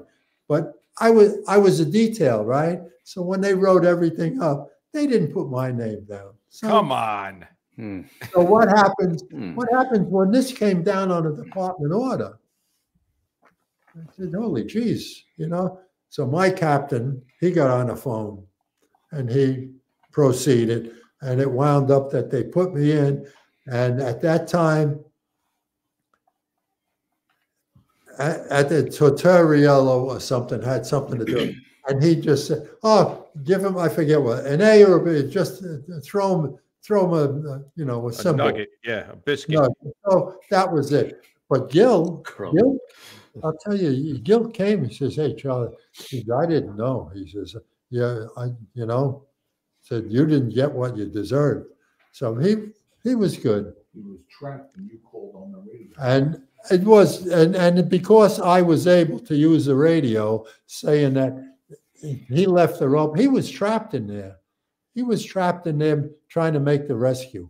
And okay, subsequent the rescue was made, but with others too. But Gil, but let's face it, the radio was at that time, you know. And then later, hey, a couple of years later, the power, you know, do you know how the power tools really came into the job? They were out there. Other other com- other units or outsiders, they had them. But at that time, we got a fire commissioner, Safer. His name was Safer. He came from the fire marshals down in Washington. And when he came to New York, he thought he was going to be the police commissioner. That was a, but he became the fire commissioner. And because he became the, he looked at what the fire department had. He says, look at this equipment. They need equipment. order, I don't know, 50 pumpers, order trucks, order, and some of the specifications. Okay, we need power. Every pumper that we order, we want two power, two partner saws on every pumper. So as the pumpers came in, they had there was two partner saws. Well, the saws were put, and they would start handing them out to the busy companies. Well, eventually we got a power, a power. But that's that was later. I'm, the way to have. Hey, Cap, when did you start studying? When did I start studying?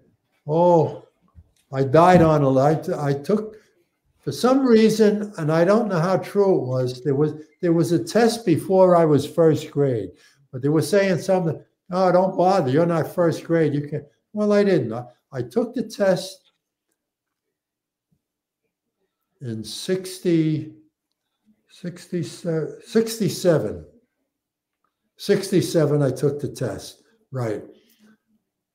I got, I, I really, my wife said, You really didn't want it, Charlie, because I, I guess I didn't put in, I did whatever the school told me to do and nothing more, and maybe that was uh, detrimental. But anyway, I wound up with a number uh, eight something or 900 on the list.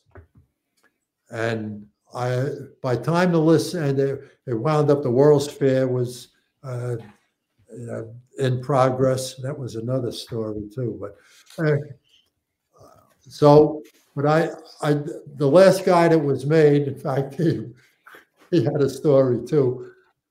He was made on the last day, Sawinski, Reggie Sawinski, his name was, and he wound up a lieutenant in 221. But anyway, uh, that list died, and uh, I didn't do anything. And then, of course, when 71, they said there's going to be a test in 71, I, I put more effort into it and I made that list. So I'm on that list, but the city became a pro a, in financial pro. They froze the list. They froze the list like in oh 74 or 70, 74, I think it was. And guys, guys were laid off. Yeah. There was one guy in the engine and one guy from the truck that were laid off. And where'd they go? They wound up, they were bus drivers for the city A lot of guys said that, Cap. Yeah. Yeah. They wound up bus drivers.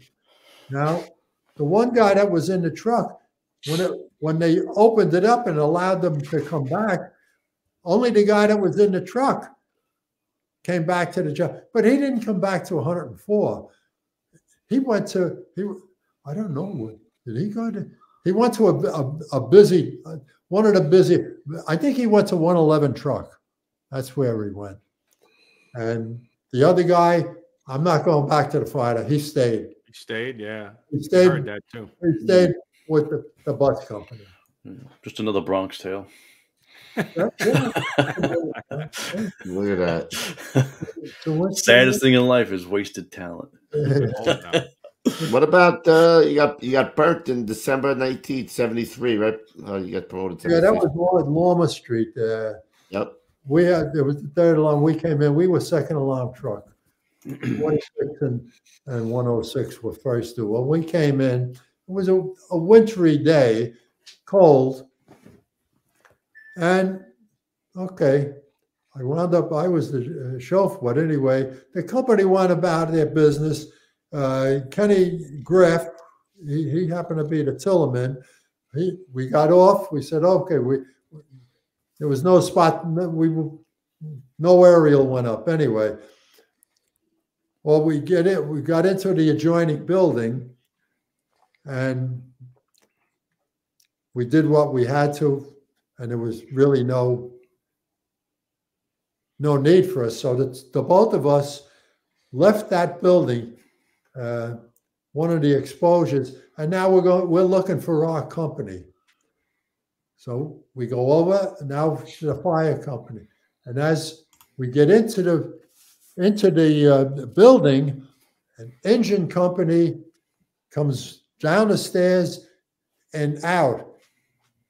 Apparently, the fire came out the apartment door or something, and this company, I don't know exactly uh, if I remember the number, I forget about. But anyway, rescue was there, and the rescue officer says, "Hey, why don't you take the line?" So Kenny and I took the line, and we went back uh, upstairs, and we were knocking that fire down. And as we moved along, one of the an ember came down and went down my coat.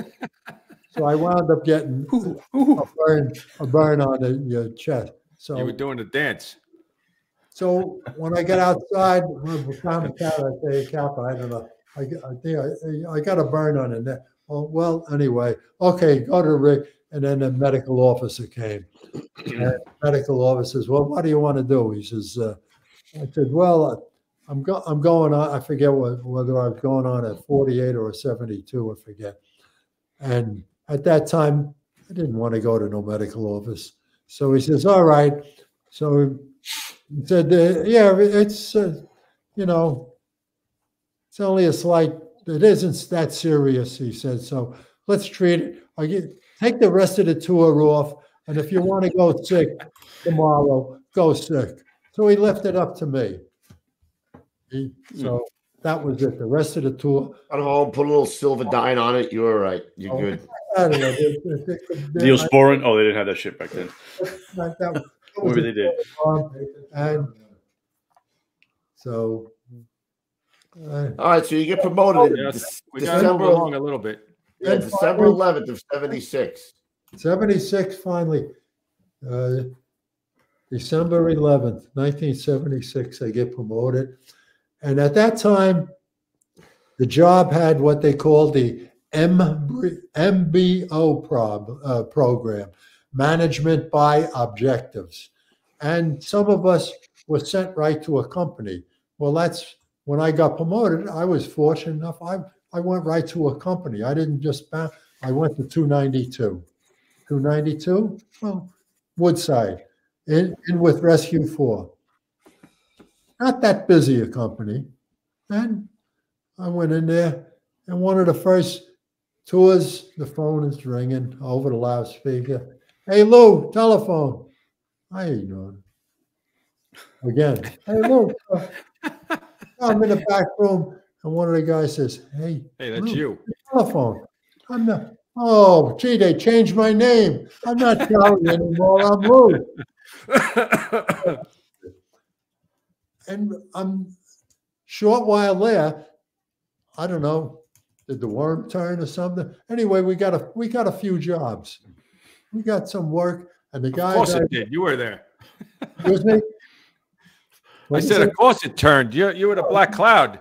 Well, we're in there, and the first guy, well, uh, the first the first one was we had, there was a diner just about Roosevelt Avenue, Roosevelt and Woodside. Well, we're pulling in, and the signal at that time, yeah, we got a working fire. We got a ten thirty. We got a working. I no fin no sooner finish at saying a 1030, the rescue officer, make that a 1075, you know? So I said, oh God. We got in there and knocked it down for God's sakes. And when I came out, I just shrugged my shrugged my shoulders to the chief. And did he know what I meant? I don't know. But things like that later on came back and they wanted to know, hey, Lou, did you bring your Brooklyn mentality into Because hey, that, that in Brooklyn, that wasn't a seven, that wasn't no 1075. The 1030, yes, there's a working fire. Two and But- two. But rescue, they had it. And and the, the funny part of that rescue, he went to the same high school and he played on the ball team too. And Oh, Yeah. so you knew him too. I know. I I also, while I was there, uh, the guy that was ahead of the uh, the officer ahead of the burn center, uh, Jimmy Cullen. Yeah. Mm-hmm. Curran. I'm I'm working, and uh, uh, in, in rescue is Dillon, John Dillon. Well, Jimmy happens to come into quarters because him and one of the fellas in, in Rescue Four they worked on a side together. They did uh, some uh, uh, work. Anyway, I happen to be there. Dillon says, "Yeah, Jay, did this is the engine or Charlie Sollin."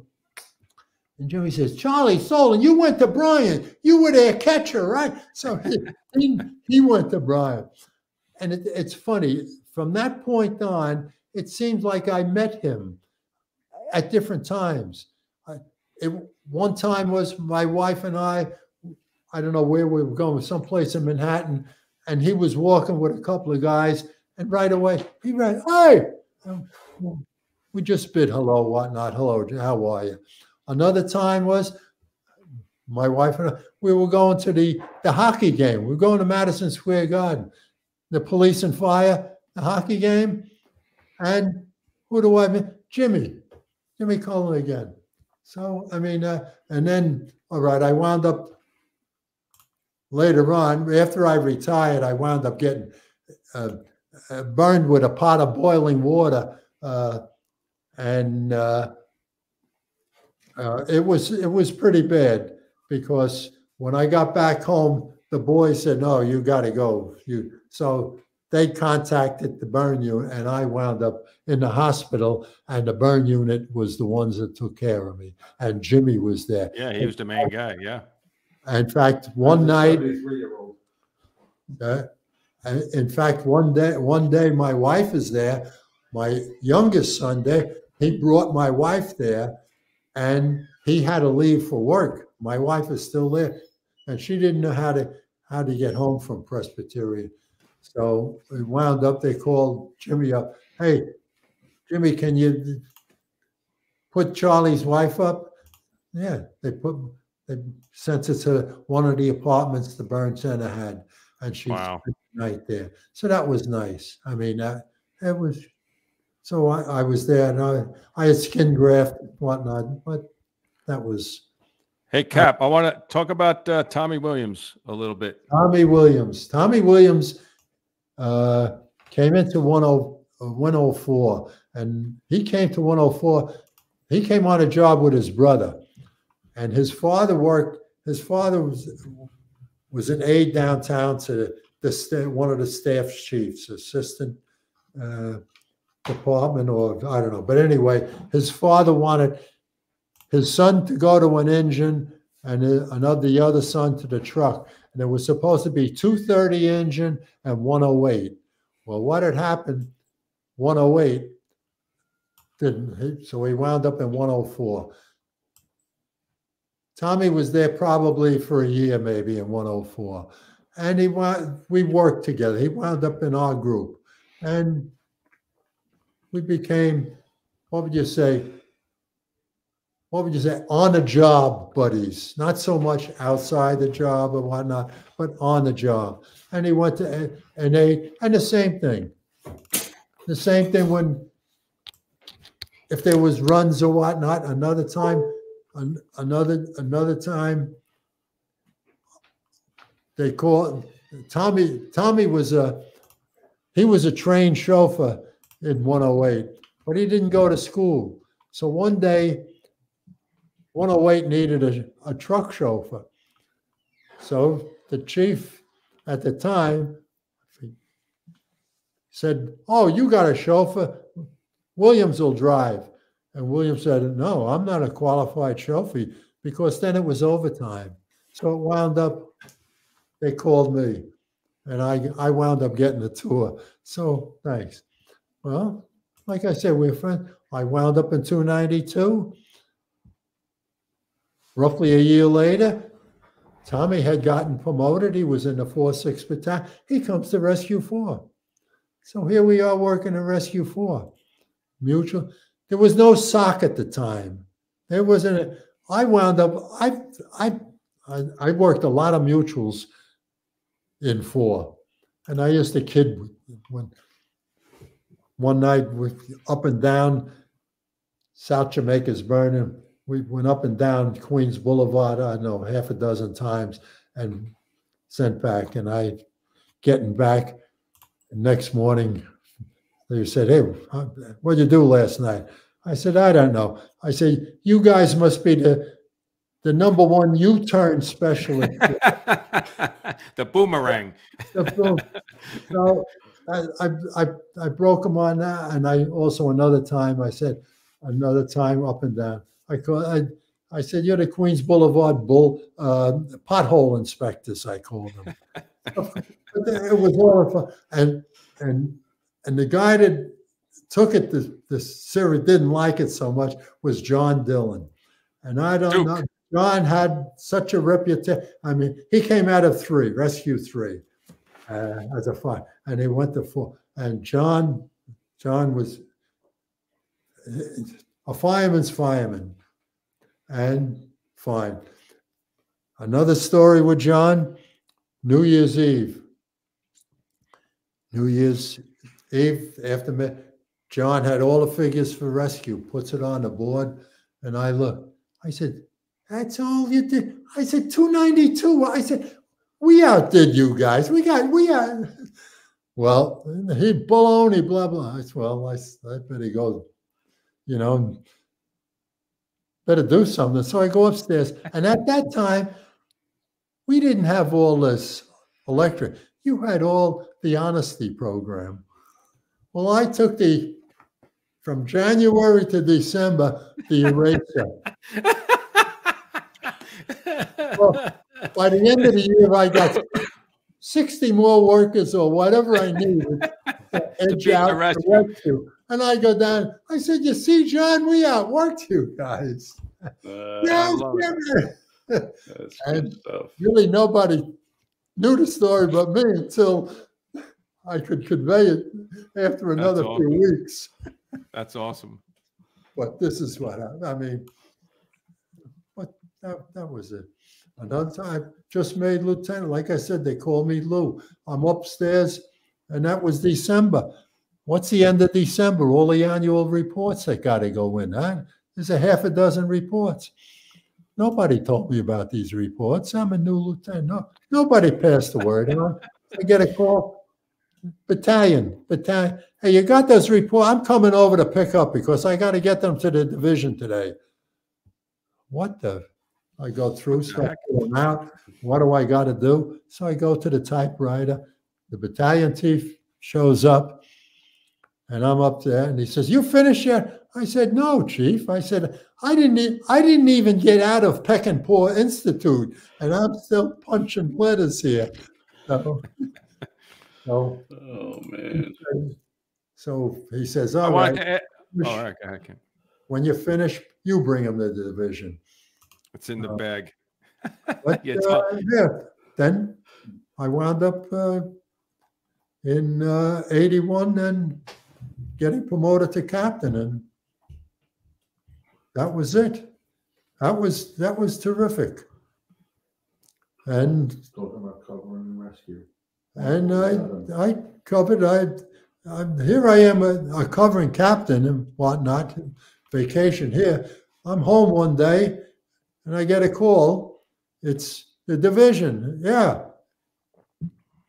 I said, I'm not doing. No, no. will you work in rescue? I said, will I work in rescue? I said, yeah, why? I said, well, we got, eh, there's OT and nobody wants to work in rescue. Will you work in rescue? For overtime? Why? I, yeah, sure. I wound up a few tours with the overtime in rescue. And these weren't tour. Usually, overtime was always following one of your day tours or following one of your night tours.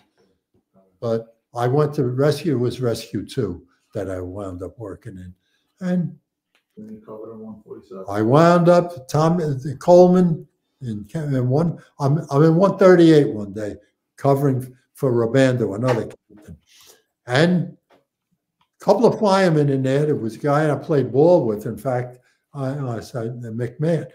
He says, "Hey Charlie, why don't you find out?" Rabando's going to be, out. he got injured here. He's going to be out a while. Maybe you could cover it. So I called 14th Division. The 14th Division, the aide right away knew me. He said, Yeah, Charlie, why not?" So I told him the story. He says, Charlie, he says, you have to get released from the 10th Division. You're in the 10th Division. So I said, Oh, God. He says, So, all right. So the next day, I'm still in 138. I said, Well, I'll, I'll find out. So I called, before I could get to the 10th Division, the 10th Division called me.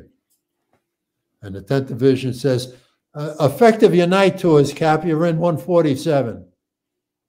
I said, oh. Nice. So I went to 140. I was in 147 for uh, about five months. That's a great place. I was now at the time from 147, Jerry O'Donnell was a lieutenant there, and he was detailed to Charlie Hynes, the commissioner, because he knew Hynes, and Hynes, who became the fire commissioner, and he didn't know the operations of the fire department, so he brought Jerry down there. When Jerry went down to work with Hynes, they put in a guy that they took, Mike Burke. Mike Burke went into that lieutenant spot. Well, okay, fine, no problem. What happens? The word goes out. Tommy, Tommy Coleman, uh, Tommy Coleman's going to retire. You know, so Jerry, would you be, you know, interested in one? I said, in a heartbeat. Beat, I said, uh, 147. So he says, all right. What happens though? Within that week or 10 days, Mike Burke got promoted to captain. And Imagine course, that. Mike Burke, all he did was change groups and put a different helmet. He wound up the captain of 147, and. I wound up, I went out wherever I went, but covering again. But anyway, what happens is a, a fireman at 248, uh, uh, Dave Radenberg, he was a chauffeur there and very good friends with the Sollin family in Valley Stream. He knew him and his wife from the kid as when the kids grew up. But anyway, he says, "Hey Charlie, Mahula, he's captain. He's going to re, he's going to retire in a in a month or so." I said, "Oh yeah, well, hey Jerry, this is Charlie." So Jerry, I said, "I hear from Mahula." He says, "Why? You would want 248?" I said, "Of course, I would want 248." Okay, well, made out a transfer form went down right to the 10th division and who's down there at the time is clancy ed clancy. Now clancy i knew as a fireman he was in 229 when i was in 104 so him oh child blah blah blah you know? And of course when i first made captain there was times when i was detailed to 239 where the 10th division was quartered i and but anyway so he looks at the trend. He says, "You really want to?" I said, "Yeah, I want." He says, "Okay." He says, "We'll approve it." Well, I wound up with 248, thanks to, thanks to God. Hey, Cap, what was that like over there at that time? uh, Crazy, was- right? Uh, hey, we had fires. We maybe I, I didn't catch the real bad ones, but I mean, we had fires. I mean, it it was it was a, a company. Let's face it, I had a, a load of probies there. That was a, a story I had with Stell. But anyway, we had I had a load of probies. That that that company, they were fire hungry, so to speak. Nice. You know, N- if there was an all hey, don't we go? What are we? Are we on a second or what? they, they were down at the house watch desk when they, there was Shopping. They were going. They wanted, you know. Once you got the officers, the same thing. No, every officer. We had an officer took care of fire fire prevention. He says, Cap. He says, one thing I'll tell you, I don't work neutrals. I said, yeah, that's fine, Jimmy. I don't care. He says, I if it's all right with you, I'd like to eh, take care of fire prevention. I said, Hey, cha-ching. He had everything. If you had to go out on buildings, he had the buildings on on a, Oh, I love that guy. a whole clip of the buildings that you should be. That you had to do. Oh, love that guy. tour. The same thing, but terrific. That's how I did it. I found out that our basement You uh, did do what? oh, yeah. would they? What? we got, we get this fire, and it's it's in oh, what would you say? um a beauty shop supply area, and it was right right up Snyder Avenue, All the uh, wigs. al- almost to almost to one seventy. Maury's wigs, they don't come off even in water. But anyway, when we get there, I mean, plenty of smoke. Get in there. It, it's downstairs. Where's the door? We couldn't find no. door. It was like a secret door that had closed around a shelf.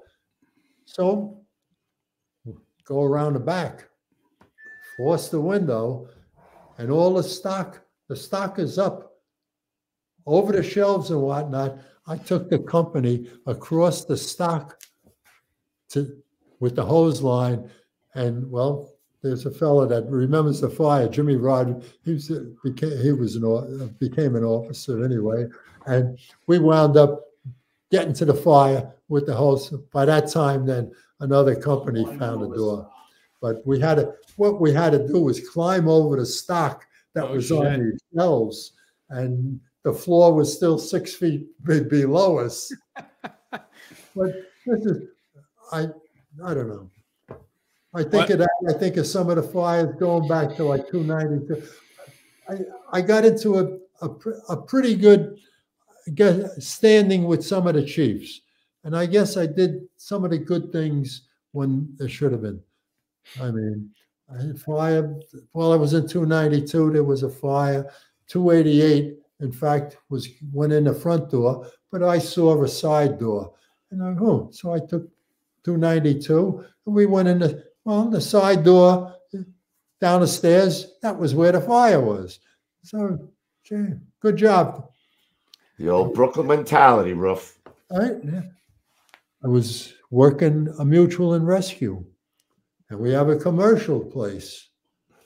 And 136 and 287, they're in rescue.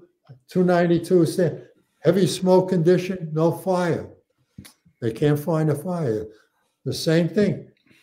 I said, hey, let's go down the side of the building. Go down the side of the building, and there's two doors on there. And Arnie Merkel, should I show you?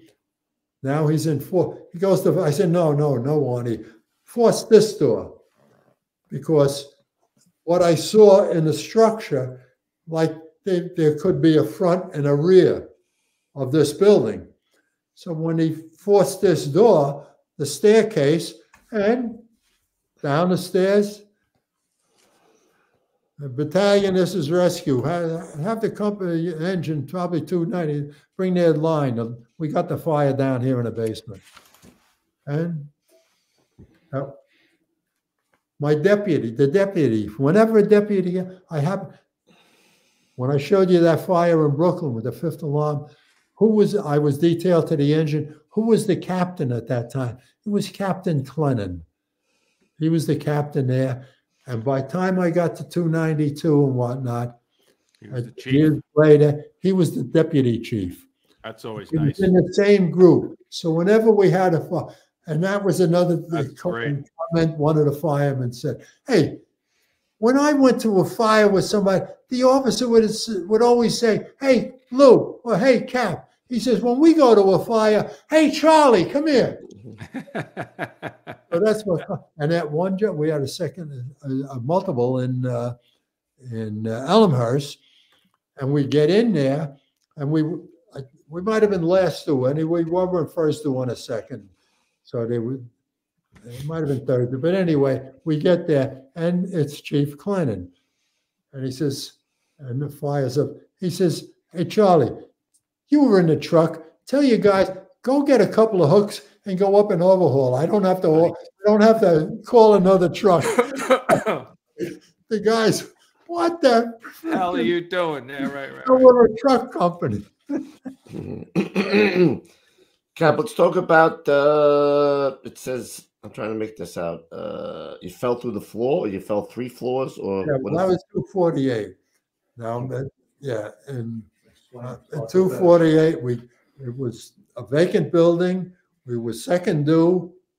We came in and we, the fire was on the second and third floor by this time, and we took a line. We were going to the third floor. Got up to the third floor. The door was open into the apartment, and it's it's it's coming out real good. We didn't. I didn't have water in the line yet, so I called for water, and I said to the nozzle, Jimmy Day, I said, as soon as we get water, we're going give it a shot, and we're going to move in. Okay. Well, just about the time the water hit, the the the the, the, the uh, stairs gave way from under us, and down we went. We were in a standing position. It's funny. Going down, they knew we we fell. They grabbed Jimmy Day, but I was on the extra. I went all the way, so I wound up in the hospital. Uh, in fact, the battalion chief thought I broke my leg at that, but no, I didn't break my back. It was a neck and back injury. I had, but I hit the floor, and at that time, yeah, I had Scott a Scott on, so that added to the, Oh yeah. I guess, the bounce. But What was that like falling three floors? so I'm down. Hey, I Thank- believe thank I can a fly. Thankful I'm alive, and I didn't lose consciousness. Got me, rescue got me to the hospital. I was there five or six days. That was that was terrible because I even had the the union captain. Uh, I forget his name, but he came in. Charlie, as soon as we get a room, we'll get you in. They put me in. They they wound up putting me into a ward, and there was six, six of us in there. And let's face it, downstate, you know, they don't have the greatest reputation, and the people there, could, I thought, could care the less for you. In fact, I got more care from my own company. My 248 brought me meals while I was there. Well, and okay, I was out a while. I went back to work. When I get back to work, I'm standing in quarters and a department vehicle pulls up.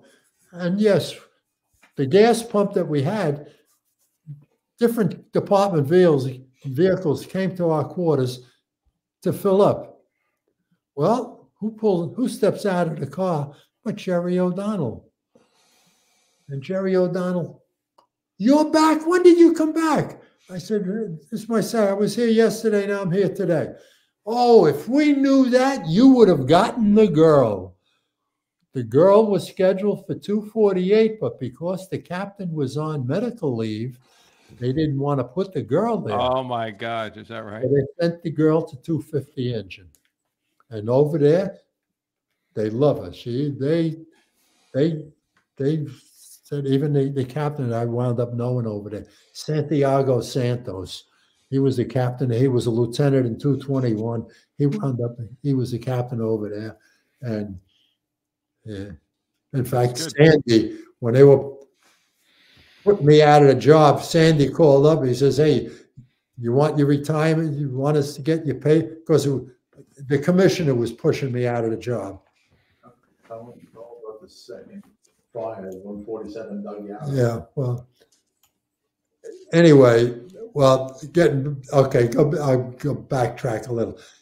After I got back from the fall, a few months later now, few about four months later, I go out if, and it's February first at night, and we go down and, uh, we're getting almost to two, uh, one thirteen, two forty, their, their quarters. There's a Queen Anne, and the fire is coming out a couple of floors. Oh, 249 went in, they were going into the sun because the, the apparently the chief got there. He was worried about an exposure, and the fire was coming out of that fir- lapping on the exposure was only a few feet away. So he, they went that way, but 248 went in the front door and we fought fire. We fought fire for, for three floors. And I mean, it was, we just were in and out. But, and you know what a Queen Anne was. Mhm. Yeah, of course. There were different stairwells and different spots and what, but we got up there. And who was the truck? The truck that was wound up in there was 132 truck. And 132 truck, that lieutenant said, Hey, Cap, I, I'll follow you anywhere because we were ordered out of the building. And I told the battalion, I said, We're not leaving. We're not finished yet. When we're finished, we'll let you know Five more minutes. and this was that building, and that that was my last fire. I was aching, hurting, myself and another fire. We got downstairs. By that time, the medical officer was there, Soren, Chief Soren, and he says, "Oh," and he knew he was the orthopedic doctor I had seen prior. So he says, "Oh, okay, Cap, you're hurting, huh?" He says, "Well, I know what's hurt." your firefighting days are over. That's it. I'll see you at the medical office. Hey, at least you went 41 out years ago. blaze of, went out in a 41 years of ago glory. today. Yeah. So, That's today. that's right. Oh, right. February 1st. Your Yeah. last fire 40 years ago today. Wow, Yeah. how, how how cool is that, huh? You're talking about it. That's right. You Like, went uh, out in a, in a blaze of glory, though, there, Cap. Well, I had to come. And 48, yeah, I don't know if you have time. A story with Chief Stell, uh, Chief Stell. Wait a minute. He just passed away. Uh, two weeks ago, he passed away. Oh, Hey. shit. What, what a, chi- now, now you realize the guy was 95, almost 96 years old. when he passed I'll away. take that, Roofy. He, he was a, once he got out, he he organized annual uh, annual lunches for whoever wanted to come. He there was an annual lunch, and it was always the Thursday before Thanksgiving. And he says, remember that Thanksgiving's on a Thursday. It's the week before, and we used to have and uh, huge turnouts. It was always a great day. Well, anyway, um, my first year there, right? So I wound up, there- there's six, I have four probies and two other young guys that barely have a year on a job. And they were put into vacation groups that were prime for the summer. Well, I took it upon myself to ask the chauffeurs, hey, you want a partial summer? They didn't have it. You split with this probie. Split. Well, when I send the paperwork in, Stell's on the phone. What the heck are you doing? You get me locked up. You realize the overtime you'll be creasing. yep. So, but he worked. He worked things out. Some of the guys got it. Guys. Smoothed it out.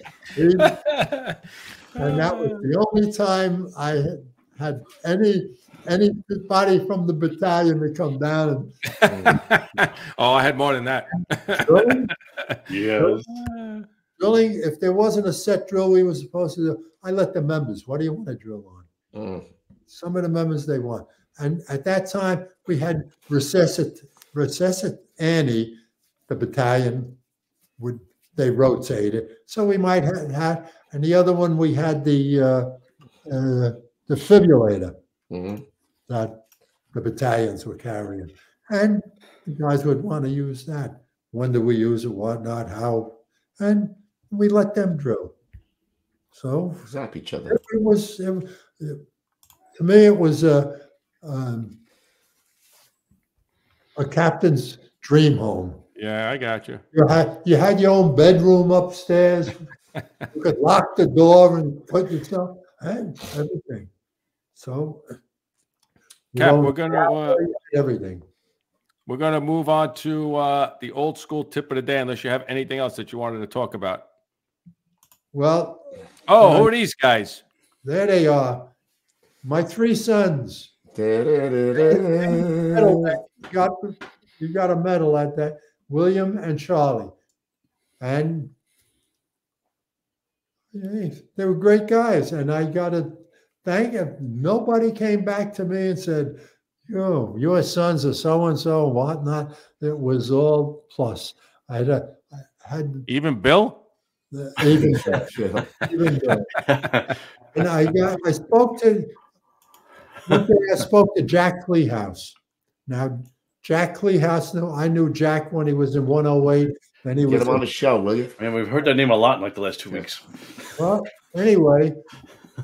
At one of our breakfasts, whatnot, I to he says, you know, Charlie, I worked with Dennis and I worked with Charlie. Well, Dennis, when Jack was the captain, he was in 126. Dennis was the chauffeur. So he knew Dennis pretty well. Jack became chief, right? Where is he in the 4-6 battalion? Where's Charlie? He's the captain of two of uh, of uh, 287 Seven. was in with the 4-6. So he says, the only one I didn't work with, he says, I worked with you. He says, is your son Bill. I didn't work with him, you know? So They all, they all wound up in some good spots. I don't know how that happened, Roof. it- Oh yeah. and because of all, I guess a reputation was built. And that, if you get remembered from here, there, and whatnot, I guess you were doing something right. That's true. I think you did all right there, Cap. Now things You did right, know uh, If I could pass anything on, I could say, as a fireman, there's so be times firemen, you, you get assigned to a company you don't know anything about. So don't come in with an attitude. Come in and learn what's going on in that firehouse. Get used to their routine. You might have heard about a routine in a different firehouse. This firehouse where you're in has their own little routine. And listen to what the probies have and feel your way around. Learn how they do things and pay attention. Don't be a, a mouth and come try to come off that you're a know-it-all. Yeah, or- Gonzo. or more Yeah. Just gonna What the fuck? That'll be bad news. And, hey, just gonna say shit. that. I don't Good know advice, shit. Cap. there's times, hey, Hey, we didn't even get to give him the old school tip of the day. That's all right. He wa- rolled right into it. He rolled right into it. I was when I gonna. was bouncing, I wound up uh, as being surplus captain. I wound up uh, in, in Manhattan, and I would have to roll call the same thing. Any new, you're in a new firehouse, you don't know what they're going on. I say, hey, listen, guys, I'm from Brooklyn. I said, I'm not not Manhattan. What do you guys do? Well, one of the first things they had me was a bag, the standpipe bag. Yeah, right. The officer carried the tools for the standpipe. Yep. Some of these companies, I mean, came in with their masks on on a hand cart because they would be going into a building that might require, the- but the mask would be brought to the floor that they need, and that's where they would don them. Understood. For sure. Oh. Where where are the IT guys? Let's see the IT guys, Cap. What? The, guys in IT back. guys, the computer guys. Where are they? Where are they? Who knows? Where, where's Bill? Where's Bill? Let's see a picture. Let, us see him. Bill's get Tell him poke, it- tell him poke his He's head in there. He's, he's, he's giving me some hand signs. The thing's like, no, no, no, no, no, no. I'm giving him salutes. Guys, Oh, I know you were thanks a bunch. Much Thank you, appreciated. brother. Thank you for You, taking time to This- listen to this- my this dad. was something. And Yeah. I'm- I know when I get home, I'm going to get a third degree because my my wife's aides love the stories because I'm always bringing a fam- story from one of the firehouses or a family, and it got so that when somebody comes in, I said, if you want to know anything about a, a Sollin family, ask the aide. There you Nice. go. Yeah, yeah, yeah. But Cap, it was a pleasure. It, It was, was an absolute pleasure, pleasure.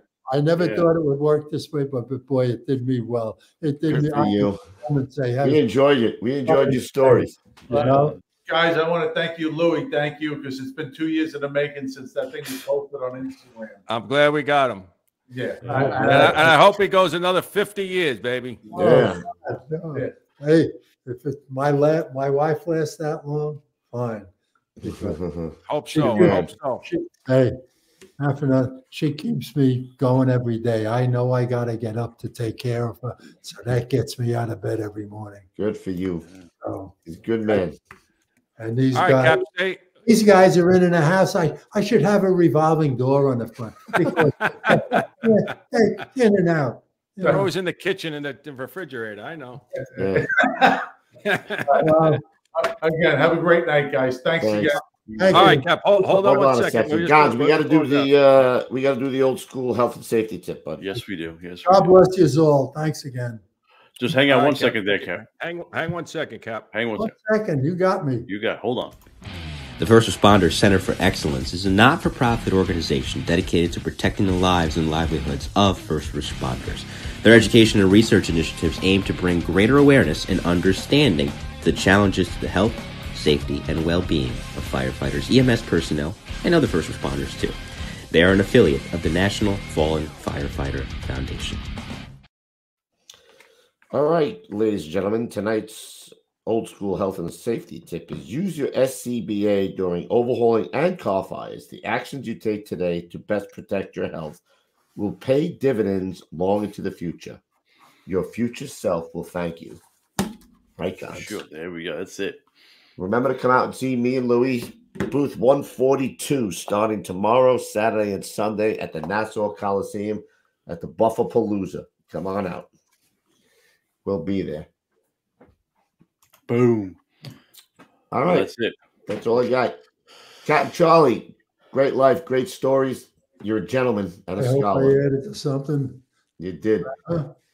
Okay, guys. You made me smile and laugh. So appreciate it. It was- Uh, You know, there's more laughs behind this too. Yeah, Uh, we'll have you on again. with- with individuals, with instances, but nothing vicious or violent or anything. no. You don't have envision one in your body. All laughable things. for Good. sure. All laughable things.